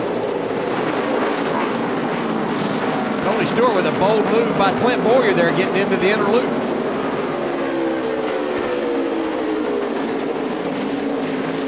A move hopping that curve coming off turn one where he had to wrestle a car off the side of Bowyer too. There's two cars in the top 10 that we didn't think were going to be that good today. It's the 88 car of Dale Earnhardt Jr. and the 17 of Matt Kenseth. They're both up there in the top 10, battling it out. There's Ambrose on Kenseth, 9 and 17. That's for seventh place. That's already two spots that Ambrose has made up in this first lap of green flag racing. Let's go back to Earnhardt Kenseth. Between the two of those, they've only got two top 10 finishes in the last 15 road course races. Jimmie Johnson trying to take a spot from Sam Hornish. Uh-oh. Uh, see, see what was on that camera lens? Yeah. Oh, trouble back up there. It's all cars spinning in turn one. That's Kasey Kahne. Come on, keep going, keep going. Still inside of here. Come on. You're all good, all good. He got that pit road speeding penalty. He's kind of gone downhill, which we see many times. Here comes Kyle Busch trying to make a move on Greg Biffle. Nothing there.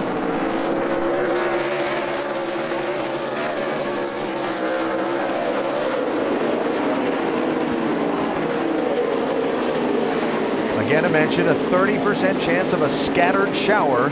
The forecast for the period of the race today, but there are some showers on the radar.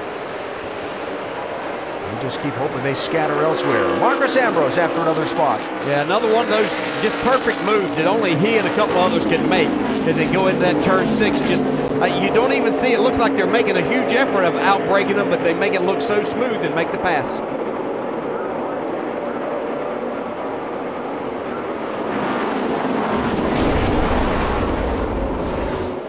What happened to Kasey Kahne last time? Uh, looked like maybe a little assist there from Martin Truex Jr.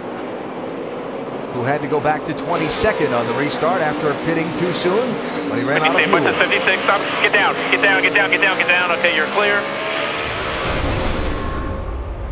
And now Kahne is on the pit lane under the green flag while we follow the leaders around the course. Kyle Busch keeps peeking out from behind Greg Biffle.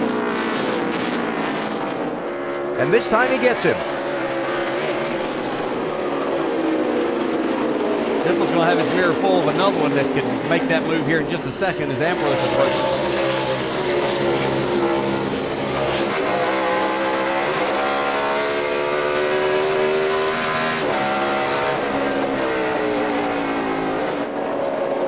Caution out, Jason Leffler. And that's got a stream of liquid behind it. Leading back up the straightaway. Hey, he's pulled off right there at that inner loop area, out of the racing groove. Yellow flag number three. Who was it that just said we haven't seen the last of the yellows yet? I think it was Rusty. Was that Rusty during Yeah. the commercial break talking among ourselves? Yeah. I bet this is not the last one, too. Uh, pretty sure. You can already see the racing and just the intensity ramping up with these passes and everybody pushing and shoving a little bit more as we get towards the end. And we have a long way to go.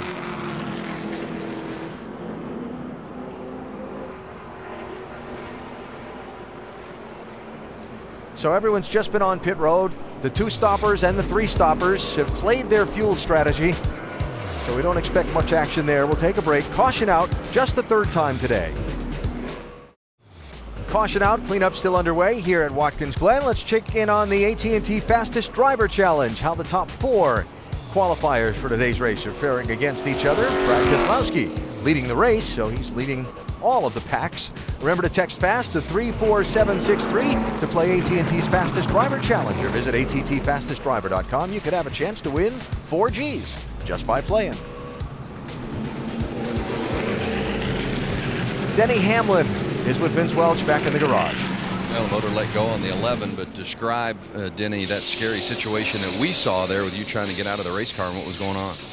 Yeah, I got a thing with wrecks and fires here lately. It's uh, frustrating, but uh, our FedEx Freight uh, team had a rough weekend, you know, uh, getting caught up in the oil on Friday and getting caught in a wreck, and then uh, today just uh, the motor let go. But uh, really for us, it's our first en- engine issue all year, so it's unfortunate, but it's, it's part of racing. It's, it's what happens. It's just just an overall bad weekend for us, and obviously not not the way we wanted to end it. What was it like in the cockpit there during that experience? I was fine until uh, once again I started feeling the, the heat and I looked down and I saw the fire right by my feet. Uh, it was coming through the firewall, so uh, that part of it's a little scary. But uh, once I started getting a little fire on me, I, I decided to stop at the nearest uh, fire station. Got out quick. Thanks. Glad you're okay. Allen? All right, Vince, thanks. So Denny Hamlin continuing the terrible run of luck he's had at Watkins Glen here in these last few years. Brad Keselowski leading. Tony Stewart has come back from a pit road mistake and a penalty earlier to be running second, Doc. And we're up here with Steve Addington. When you're a crew chief for a driver, you got to be a cheerleader, an engineer, and right now a weatherman. Steve, what are you thinking? I see you're looking at the weather radar here. Yeah, we're just looking at it and seeing what we what we got going on here weather-wise. I think this is helping us with the caution laps, and I'm I'm not trying to be no engineer. I leave it to these guys right here, all that stuff. But done an awesome job. I mean, Tony's done a great job coming back from the penalty and getting us in this position. So uh, I'm really just proud of everybody on this Mobil One Office Depot car. That worked really hard all weekend, and uh, I don't know how much we got left, but he'll put it on them if we can get going here. How much more do you need to make it? Uh, are you close now, making it to the checkered with a couple more yellows? I'm not saying I wouldn't gamble for them right here. All right, they were about four or five laps shy, and Allen Bestwick, every lap under yellow actually helps these guys. They don't want to see rain unless you're short on fuel, then you don't mind a sprinkle every now and then. Well, either Tony Stewart or Steve Addington has won five of the last 10 road course races as driver or crew chief.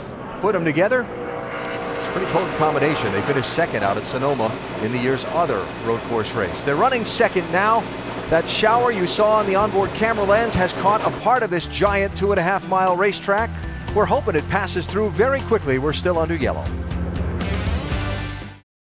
Major League Baseball tonight and tomorrow on ESPN and ESPN2. Tonight on ESPN, a National League East showdown as the Braves, led by Chipper Jones, head into Citi Field to face David Wright and the Mets at 8. Then tomorrow night on ESPN2, the two best teams in the American League go head to head. Josh Hamilton and the Rangers visit the Bronx to start a four game set against Derek Jeter and the Yankees at 7. Sports Center to be seen in Dallas and New York. Sunday Night Baseball presented by Taco Bell, and Monday Night Baseball presented by USAA pains you to read that two best in the American League and one of them not being your Red Sox, doesn't it? No, I think it pains me more that our director, who's uh, a Yankees fan, up here. was determined to show all these Yankees shirts and hats. but as you know, we all take it in the right spirit. Yes. Under the caution still, you see some of the raindrops on the lens. They're reporting that we'll get one to go signal at the inner loop this time. Mike? Uh, before that actually happens, we're going to catch up with Brian Pattie, crew chief for Clint Bowyer. You find yourself third, but what's been going on with the brakes? oh, you know, that's just uh, typical Bowyer fashion. Get a little excited uh, mid-race. I just think got him over overheated there, so we pulled some tape that last caution, and uh, since then he hasn't said anything. Do you have something for these guys if it, when it goes back green? Hey, I'm a, I'm a realist here. Um, if something happens, yeah, we'll go for the win, but you know, right now we're, we're trying to uh, situate ourselves on the chase, and, and being smart here and with a top 10 finish would, uh, would, would reap benefits. The 15 team trying to sweep the road courses here in 2012, Vince. With Dave Rogers, the crew chief for Kyle Busch. First of all, on that uh, that yellow that came out, and you guys decided whether you were going to pit or not. Explain what happened there. Well, timing's everything. You know, we had to get into our fuel window. We're trying to do this race on two pit stops. Really wanted to pit on lap 58, and the yellow came out uh, right on 58, and they closed pit road. Um, so Kyle did a, a, good job of adapting, making sure he stayed on the racetrack so we didn't get a penalty. Coasted around, got a full of fuel. Put us a little bit behind. If we would have pitted under green, we would have probably been in front of these. A couple of these guys are in front of us, but we're not, so we're just have to pass them. Weather dependent now as uh, we're getting some sprinkles and so forth, but how good is the race car? I think the car is really good. It's hard to tell because we were saving fuel that last run. The two car was saving fuel. But I think the two and the uh, and the 18 have been strong all weekend, so it should be a heck of a race here. Thanks, Dave. Doc. How about a little local knowledge? Matt Puccia, Greg Biffle's crew chief, grew up in Watertown, New York, about an hour away. Let's get a little information. Matt, uh, your knowledge locally on what happens with the weather this time of year and also how you guys doing on fuel. Uh, we're good on fuel. We're uh, probably two laps is good right now. It seems like the cautions worked out pretty good and fell fell where we needed to. Uh, you know, the weather up here, you know, it could be sunny one minute and rain in the next minute. You got to be aware. And we're kind of keeping an eye on. There's a lot of stuff that's popping up out there. So we're just going to run as hard as we can and see what happens. All right, headed going green, Allen. 22 to go, Doc.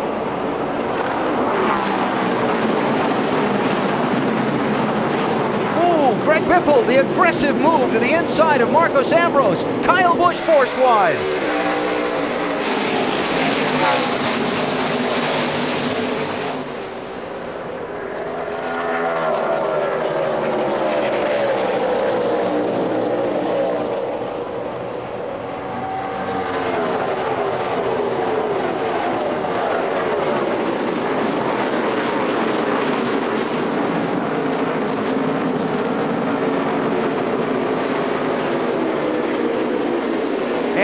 Kyle Busch.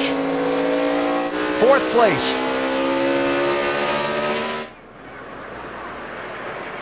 As they run, continue to run over these curves, that little bit of moisture that we had there makes this curb and uh, rubber strips even slicker. So as they try to maneuver over this, we might see some guys get out of shape.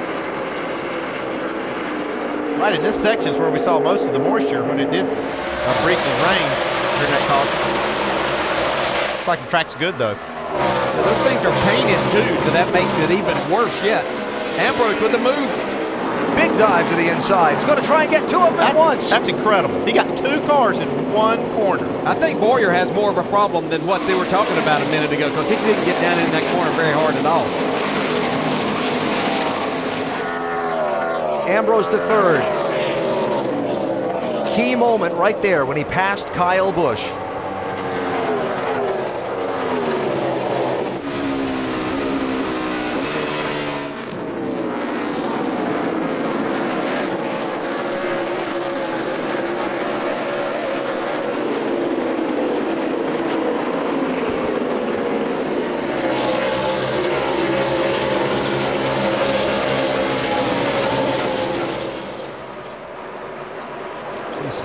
There with a great day still going. Jimmie Johnson trying to get around him. That eighth spot. I'm impressed with Matt Kenseth. He's in front of Sam Hornish, just having a, a really good day. I said what he needed to do today was just be basically invisible, try to take advantage of maybe other people having problems, but man, he's part of the mix.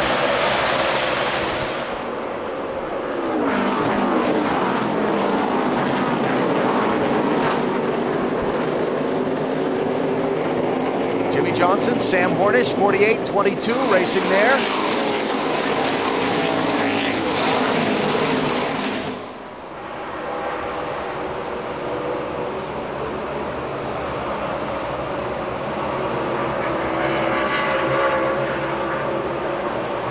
Now Dale Jr. in the mix for that spot. Dale Jr. there in the 88 trying to make a move on Sam Hornish also had a solid day. Regan Smith, it's a little bit off course. Ryan Newman trying to take advantage. Yeah, it's hard to do that. They're so narrow through that particular section, you can't really get side by side. It's like Regan Smith would gather back up as they exit that interval. And that whole group on camera gives me a second to catch up on a few things. Smith spent a long time on pit road earlier in the race when they had to repair the front splitter on that car. Ryan Newman, remember, pitted just as we went green on a restart earlier. Oh, Tony Stewart goes for a spin into the inside wall at pit entry. Caution is out. Question is, did he get some help?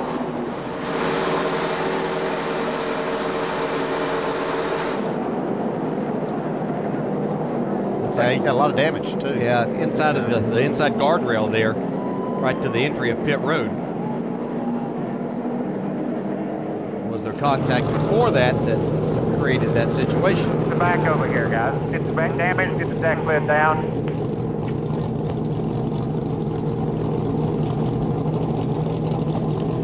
Spoiler bin up. Yep, pull it out. Upper bar, upper bar.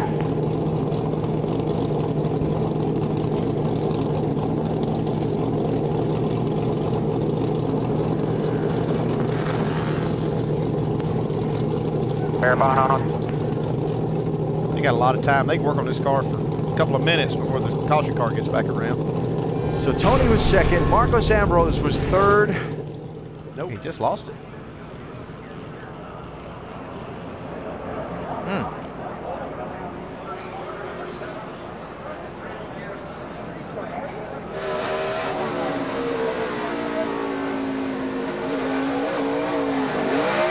do you think about that curve, Dale? Do you think he could have should have still been some moisture down there, made it a little slicker than he anticipated? Absolutely. I think that probably had a lot to do with that. And how he spun and didn't catch after he bounced off the inside guardrail, the end of that pit wall too. That was pretty fortunate. Watch this. Bang, and the car straightens up and he catches it without hitting anything else. Get a good look from Ambrose's car. Oh, yeah, oh, he yeah, he's off, yeah, with the left run almost over to the grass he'd been pushing pretty hard trying to close that gap on Keselowski. I saw him up through the inner loop, really kind of throwing the car around, looked like he was trying to make up ground.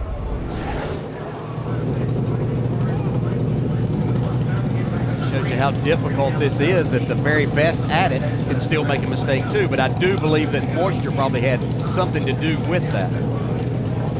So Tony Stewart from second place to the inside guardrail and out of pit lane with some heavy back end damage on his car. And the caution is out for the fourth time in this race. Talk about a lot of restarts being interesting, but this may be one of the most with the three drivers that I see there in first, second, and third. Keselowski's got plenty of victories, but he doesn't have a road course victory in this yet. But the other two there with Ambrose and Kyle Busch, desperate need of win. Yeah, they're going to do what it takes, whatever it takes, to try to get their car to, to victory lane. As, No well as, as well as the two car. I mean, he needs one too, just to add to his point total when the break comes. Sorry about that, Andy. No takers among the leaders on pit road. Take a break. Get ready for the restart. Shocking turn of events as Tony Stewart crashes from second place. 18 to go here in Watkins Glen. Uh, the NASCAR Nationwide Series is back next week in Montreal, 2 Eastern. That is on ESPN. And the Pure Michigan 400 next Sunday at noon Eastern on ESPN. Brad Keselowski currently out front, and we just said I don't envy having him to start next to Marcos Ambrose. Stock?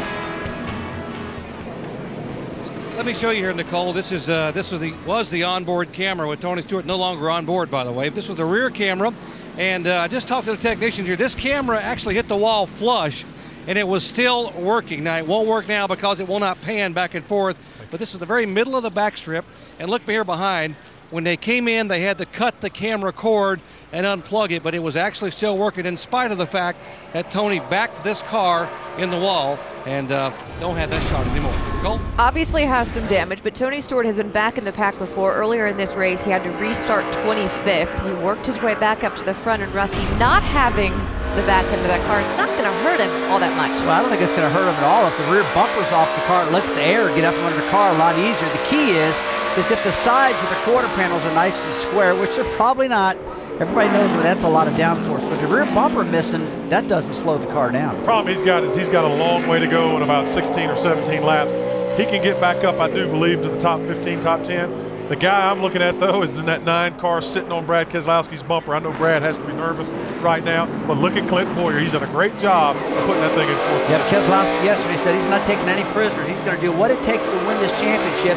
If it takes roughing somebody up, he's going to do it, he told us. Well, he better get he was collecting his nice guy points. He better weren't, get they- ready. weren't those two in the same position one season ago in Yes, this they were. exact same race? Hey, by the way, Ford has not won uh, a race in the last 14. Dave, Brad Keselowski's trying to keep it that way.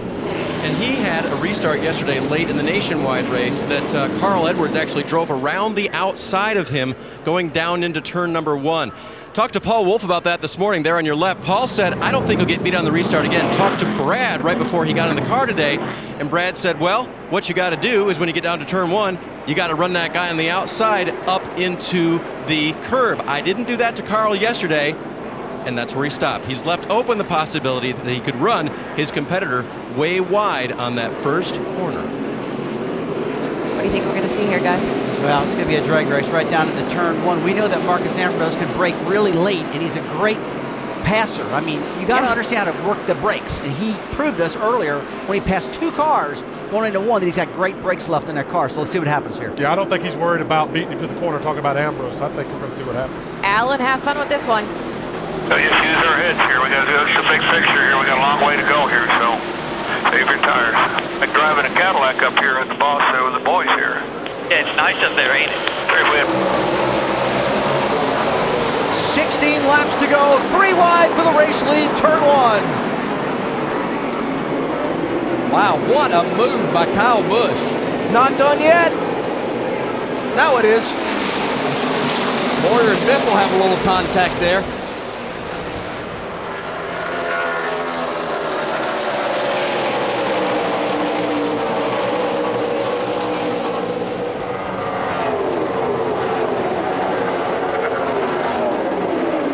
And Tony Stewart getting aggressive with that damaged car back in the back.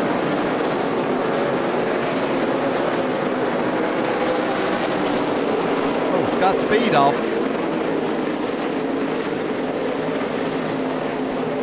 He is on the lead lap in that 95 car. Solid run for Scott today in that team.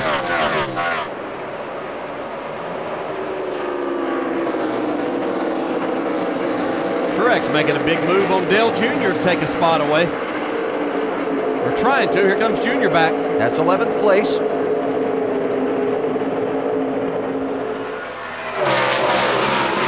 So Kyle Busch with a bold three wide move on a restart. With 16 laps to go, gets out in front after being squeezed back a couple of spots earlier on the last restart by a bold move from Marcos Ambrose. Dale Jr. and Martin Truex still arguing over that spot. Finally able to come back out front with that. Speaking of the Kyle Busch deal, I don't know that we've seen anybody be able to get up to speed quicker than what Kyle Busch does on restarts, whether he's leading or back in the pack. I don't know what you do to defend against it either. What could Keselowski do there different to try to keep the lead? I mean, it's almost like he's he was defenseless to that move.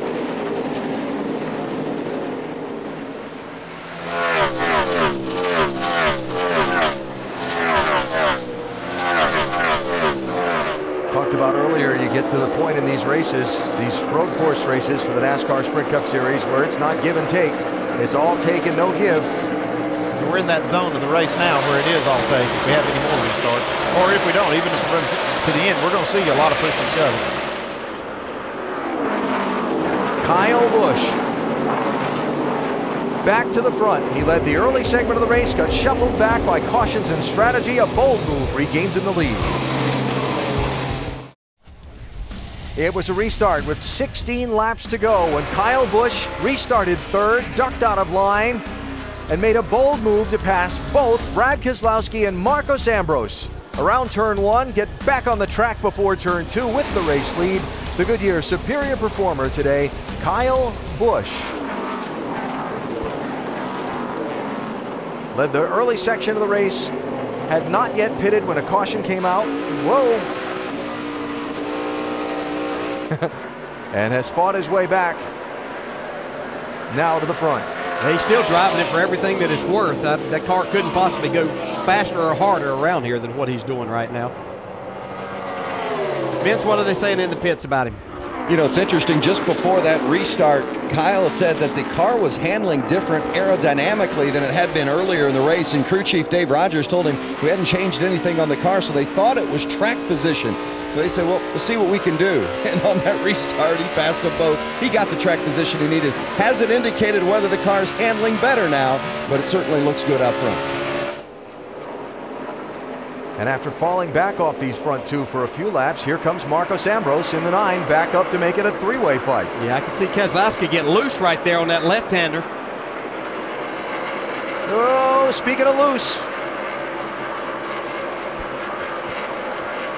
Little See if he tries to outbreak him right here, though. Ambrose is great at this. Oh, little wheel hop. Tight squeeze. Kyle Busch is loving what he's seeing there. Oh, Ambrose Oh. not able to take it. Keselowski slips a little. This is going to get out of hand quick. Wasn't much doubt what was going to happen right there if he could make it through the corner. Clear behind him. And he does. There you go.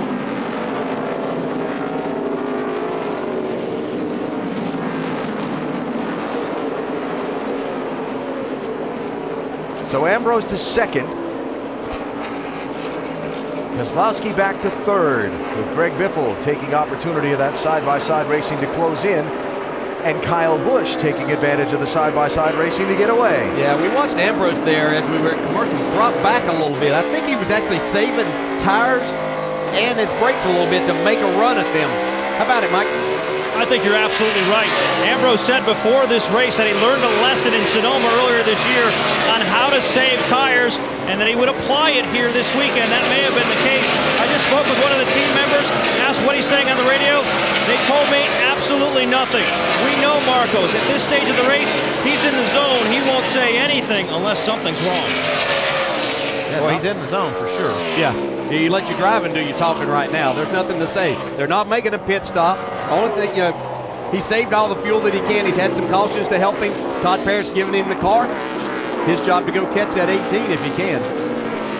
But the time he and Brad Keselowski spent in that hard fight for second allowed Kyle Busch to get away. Yeah, there's a lot of laps left. I know it says nine laps. You think that's not very many. It's a lot of racing here on this track. A lot of turns to negotiate. He's got a lot of time to make up.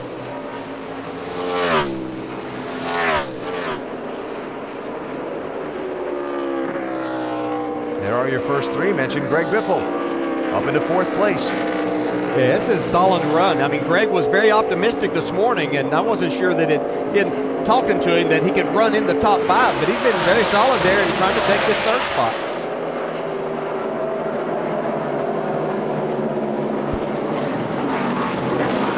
Biff and Dale Earnhardt Jr. as they run, tied for the championship lead as they run. Jimmie Johnson with a solid day today. Matt Kenseth with a solid day today. And Denny Hamlin with that trouble now falling down into the 10th position, and that's not where you want to be. Yeah, you see Bowyer's falling back a little bit, and I think his brake problems are still there. He's still in sixth, which is a good, solid day for this race team. Solidly in the top 10 with the win this year. So uh, I think they're getting out of this. They would like to be up there battling, but I think that those brake problems aren't going to let him get up there for the win. There's Junior. Working on Regan Smith for a spot and trying to defend from Paul Menard. A couple of guys there having great runs. Regan Smith doing a fantastic job here today. Menard was inside the top 10 until Junior just passed him, put him back to 11th. Junior's running 10th, Vince. And he'd indicated earlier that he felt like he needed a little bit more second gear and a little bit more third gear, that he said he just felt like he was lacking a little bit of power. But Steve Letarte has got to be pleased with where they're running because earlier today he said, we're about a 20th place car, and I'm not sure we've got enough power to go three stops and pass people, but they've been able to get there on two stops today, doing a nice job, the 88, Steve Letarte and his driver, Dale Earnhardt Jr. And last week's winner, Jeff Gordon, picking up a spot from Ryan Newman. That's 13th place.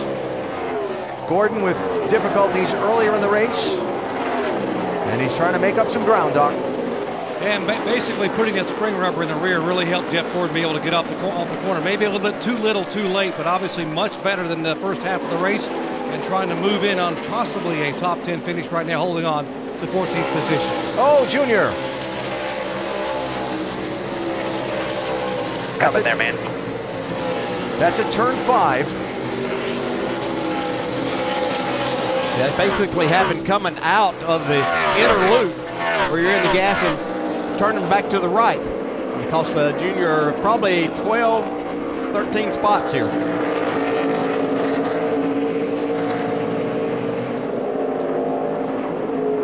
He was running 10th. We'll see where he falls in line now as he comes to the start-finish line. Here's a look. Looks like he just came out of there a little too high, not much grip. There's a lane, lane and a half there is about all that you have. It looked like he might have just got, as he came out of that inner loop, just a little bit on the high side, and as you try to go to the power, he got out from under. 10th to 22nd for Dale Jr., just like that. Just looking at our points, and there's a long way to go to that, but that just that one incident right there where he was tied for first, now he's fourth in the points. I said it really going to matter. It's really they're going to get reshuffled. He's safely in with 114 points clear of 10th, so or 11th. So he's got all he really needs to do is try to win another race or try to get some more bonus points. Jimmie Johnson running fifth in the race. And going to look for a spot here on Greg Biffle, or at least let him know he's there.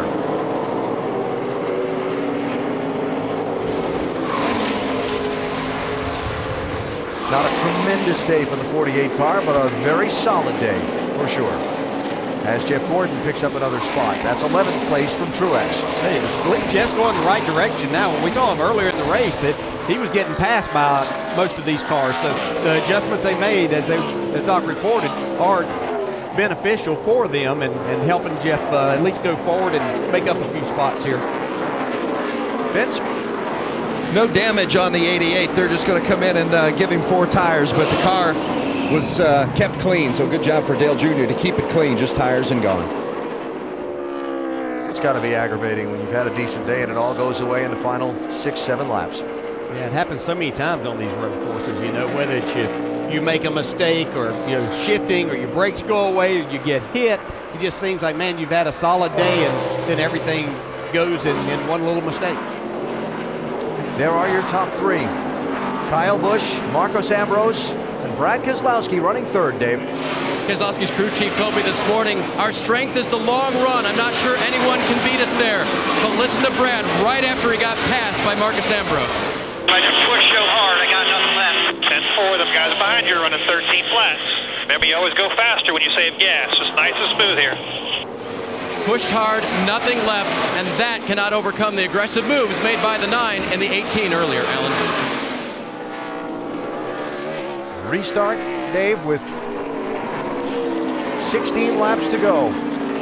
Was a huge moment in this race. Well, in Brad's defense, it's hard to be smooth and take it easy and try to make lap times when you got two of the very best road racers chewing on your rear bumper. So he had to go as hard as he could to try to hold them off, and he couldn't do it. Now he can just sit here and see if his car will come back to him. Change for fourth. Jimmie Johnson on the move. I saw him early in the race, kind of established himself up there in the top five. Never really showed that he had anything for these first three drivers uh, today, but uh, there he is in fourth. And this team got so many people's attention, their rivals' attention with that dominating win at Indianapolis. And they are certainly in championship form. Numbers in their championship years this year compared to that five straight run, they're right on target. Menard slides wide. Jeff Gordon into the top 10.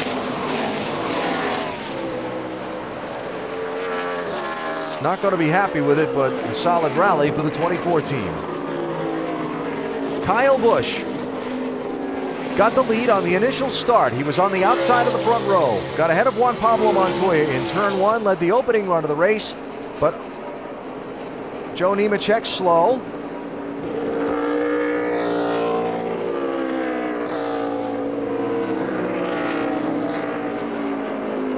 Trying to make it back around to the pit lane. I'd say maybe he's got a had a transmission trouble problem or something like that. Trying to make it back. Yep. Two laps to go. It's like Keselowski's car did come back to him. It's just maybe a little uh, too little, too late. Be there if Ambrose happens to make a little bit of a mistake. Will be there to take advantage. Right there's a little bit of a mistake on the nine car. Well, it's a mistake. It's, I just looked like his handling's going away on him. Yeah, bobbing and weaving around a lot.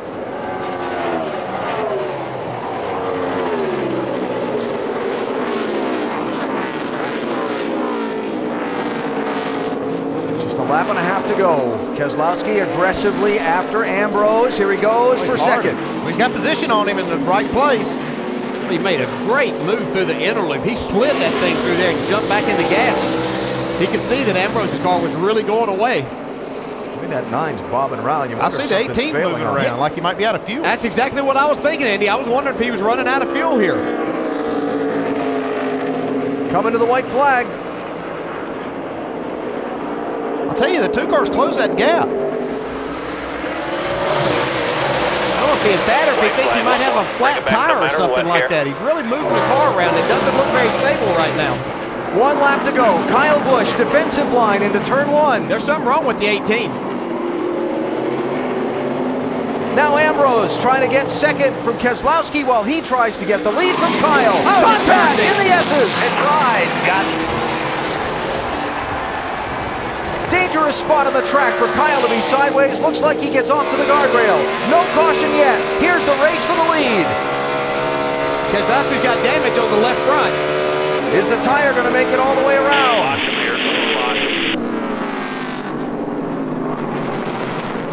And will the nine help him? Oh, Everybody's in the grass. grass. No, you're clear. Dig, dig, dig. That might have been the race right there. We'll No. see. No, Keselowski's slower.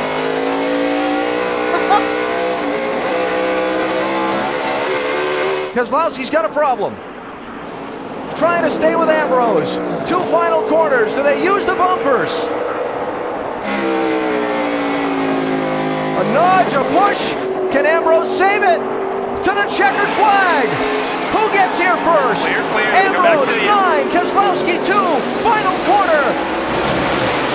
Marcos Ambrose is going to win at Watkins Glen in a remarkable last lap turn of events. winner of the NASCAR Sprint Cup Series, baby. Woo! Jeff Gordon in the wall. That's off the final corner.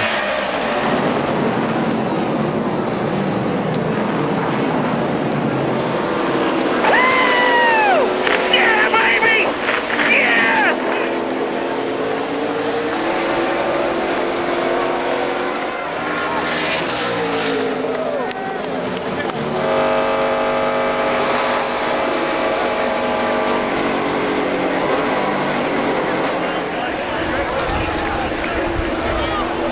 I so badly want to hear from Ambrose and Keselowski to find out what in the world was going on in that last lap and a half.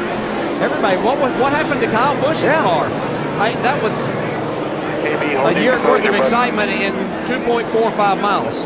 Incredible. It's almost like the two car would go and then stop and then go, and it's almost like it was out of fuel, but he's still running.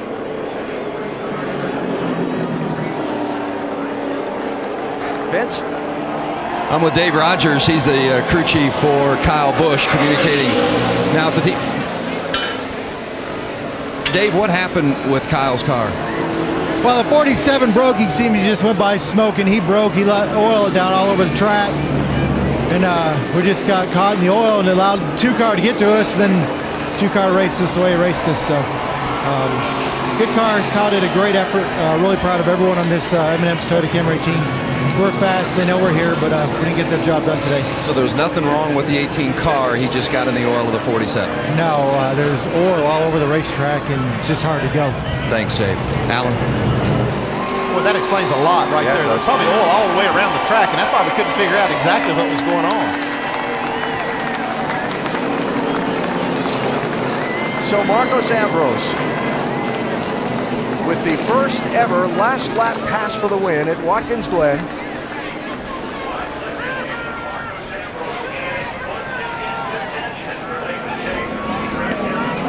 Brad Keselowski having to settle for second, but Dave, he's smiling a lot as he shares Well, he's congratulating congratulations. everybody on Marcos Ambrose's team. Tell us what happened on that last lap, Brad. 18 was leaking fluid, something fierce. And uh, the track was just, had no grip at all. And when I caught him, he had uh, leaked really bad into one and missed the corner because he was slipping his own oil. I got under him going into two, and we all slipped in his oil, and I hit him and it spun him. I mean, I hate to say there was nothing I could do, but there was literally nothing I could do. It was just one big giant oil slick underneath his car, and I feel bad about that. And then it just came down to running a whole lap against Marcos, and uh, I got the oil and would slip up, and he'd get by me, and then he'd get the oil and slip up, and I'd get by him, and just really good, hard racing. So beating and banging. I think that's the way racing should be. Uh, it's great to race against guys like Marcos. Thanks, man. It's great to race against guys like Marcos that you can rub on, lean on, and they don't lose their cool and just intentionally wreck you. That's what racing's supposed to be right there. A, a good driver with a little bit of bumping and rubbing, but none of that intentional wrecking BS. Uh, Marcos is a class act. That's the way racing should be. How did you come back? You said yourself your car was gone. Yeah, you know, I just got back into taking care of it there and riding by Marcos, and it came right back, and then we were in good shape. One of the most exciting final laps at Watkins Glen we've seen. Brad comes home second. Unofficial finish order. Ambrose, Keselowski, Johnson, Bowyer, Hornish Jr., Biffle, Kyle Busch, seventh. Marcos Ambrose celebrating back-to-back wins in the NASCAR Sprint Cup Series at Watkins Glen International after a crazy, strange, bizarre twist in the last lap where Ambrose went from third to first. An amazing, crazy last lap at Watkins Glen, and Marcos Ambrose goes from third to first. We go to Victory Lane, presented by Pennzoil.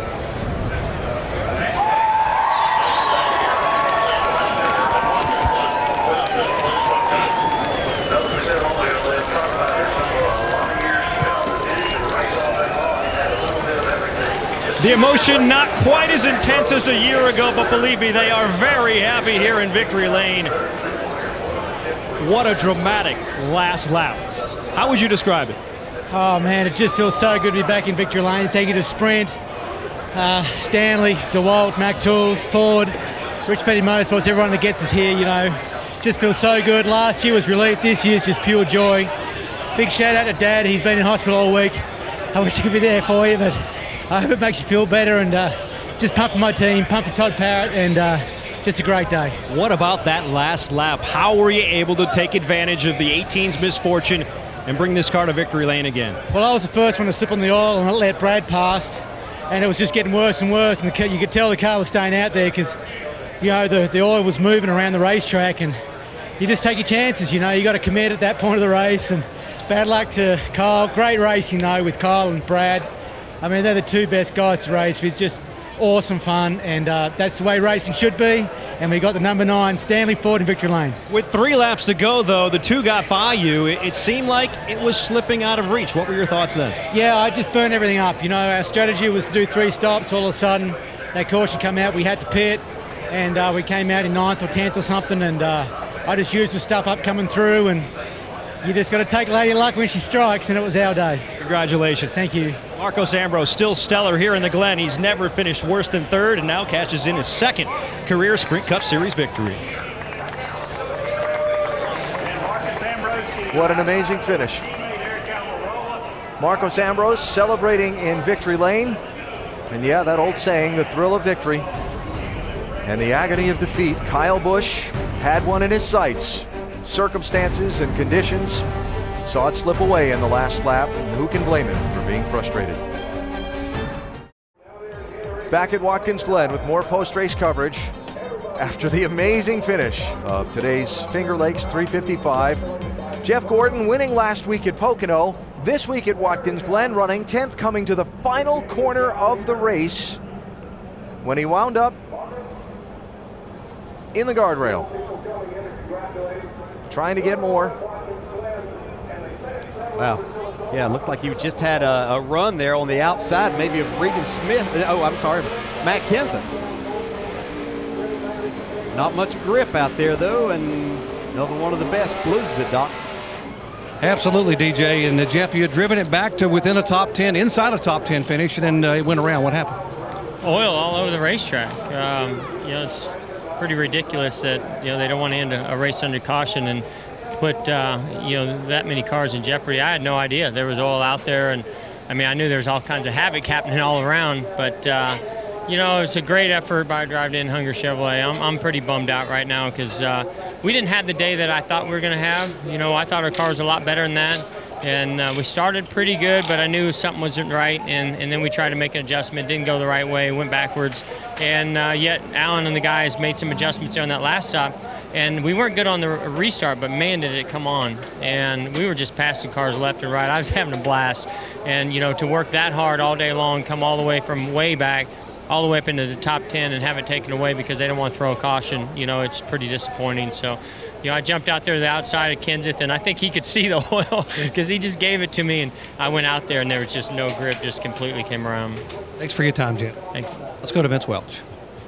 He's the new points leader. Jimmie Johnson takes over the points lead by one with a third place finish today.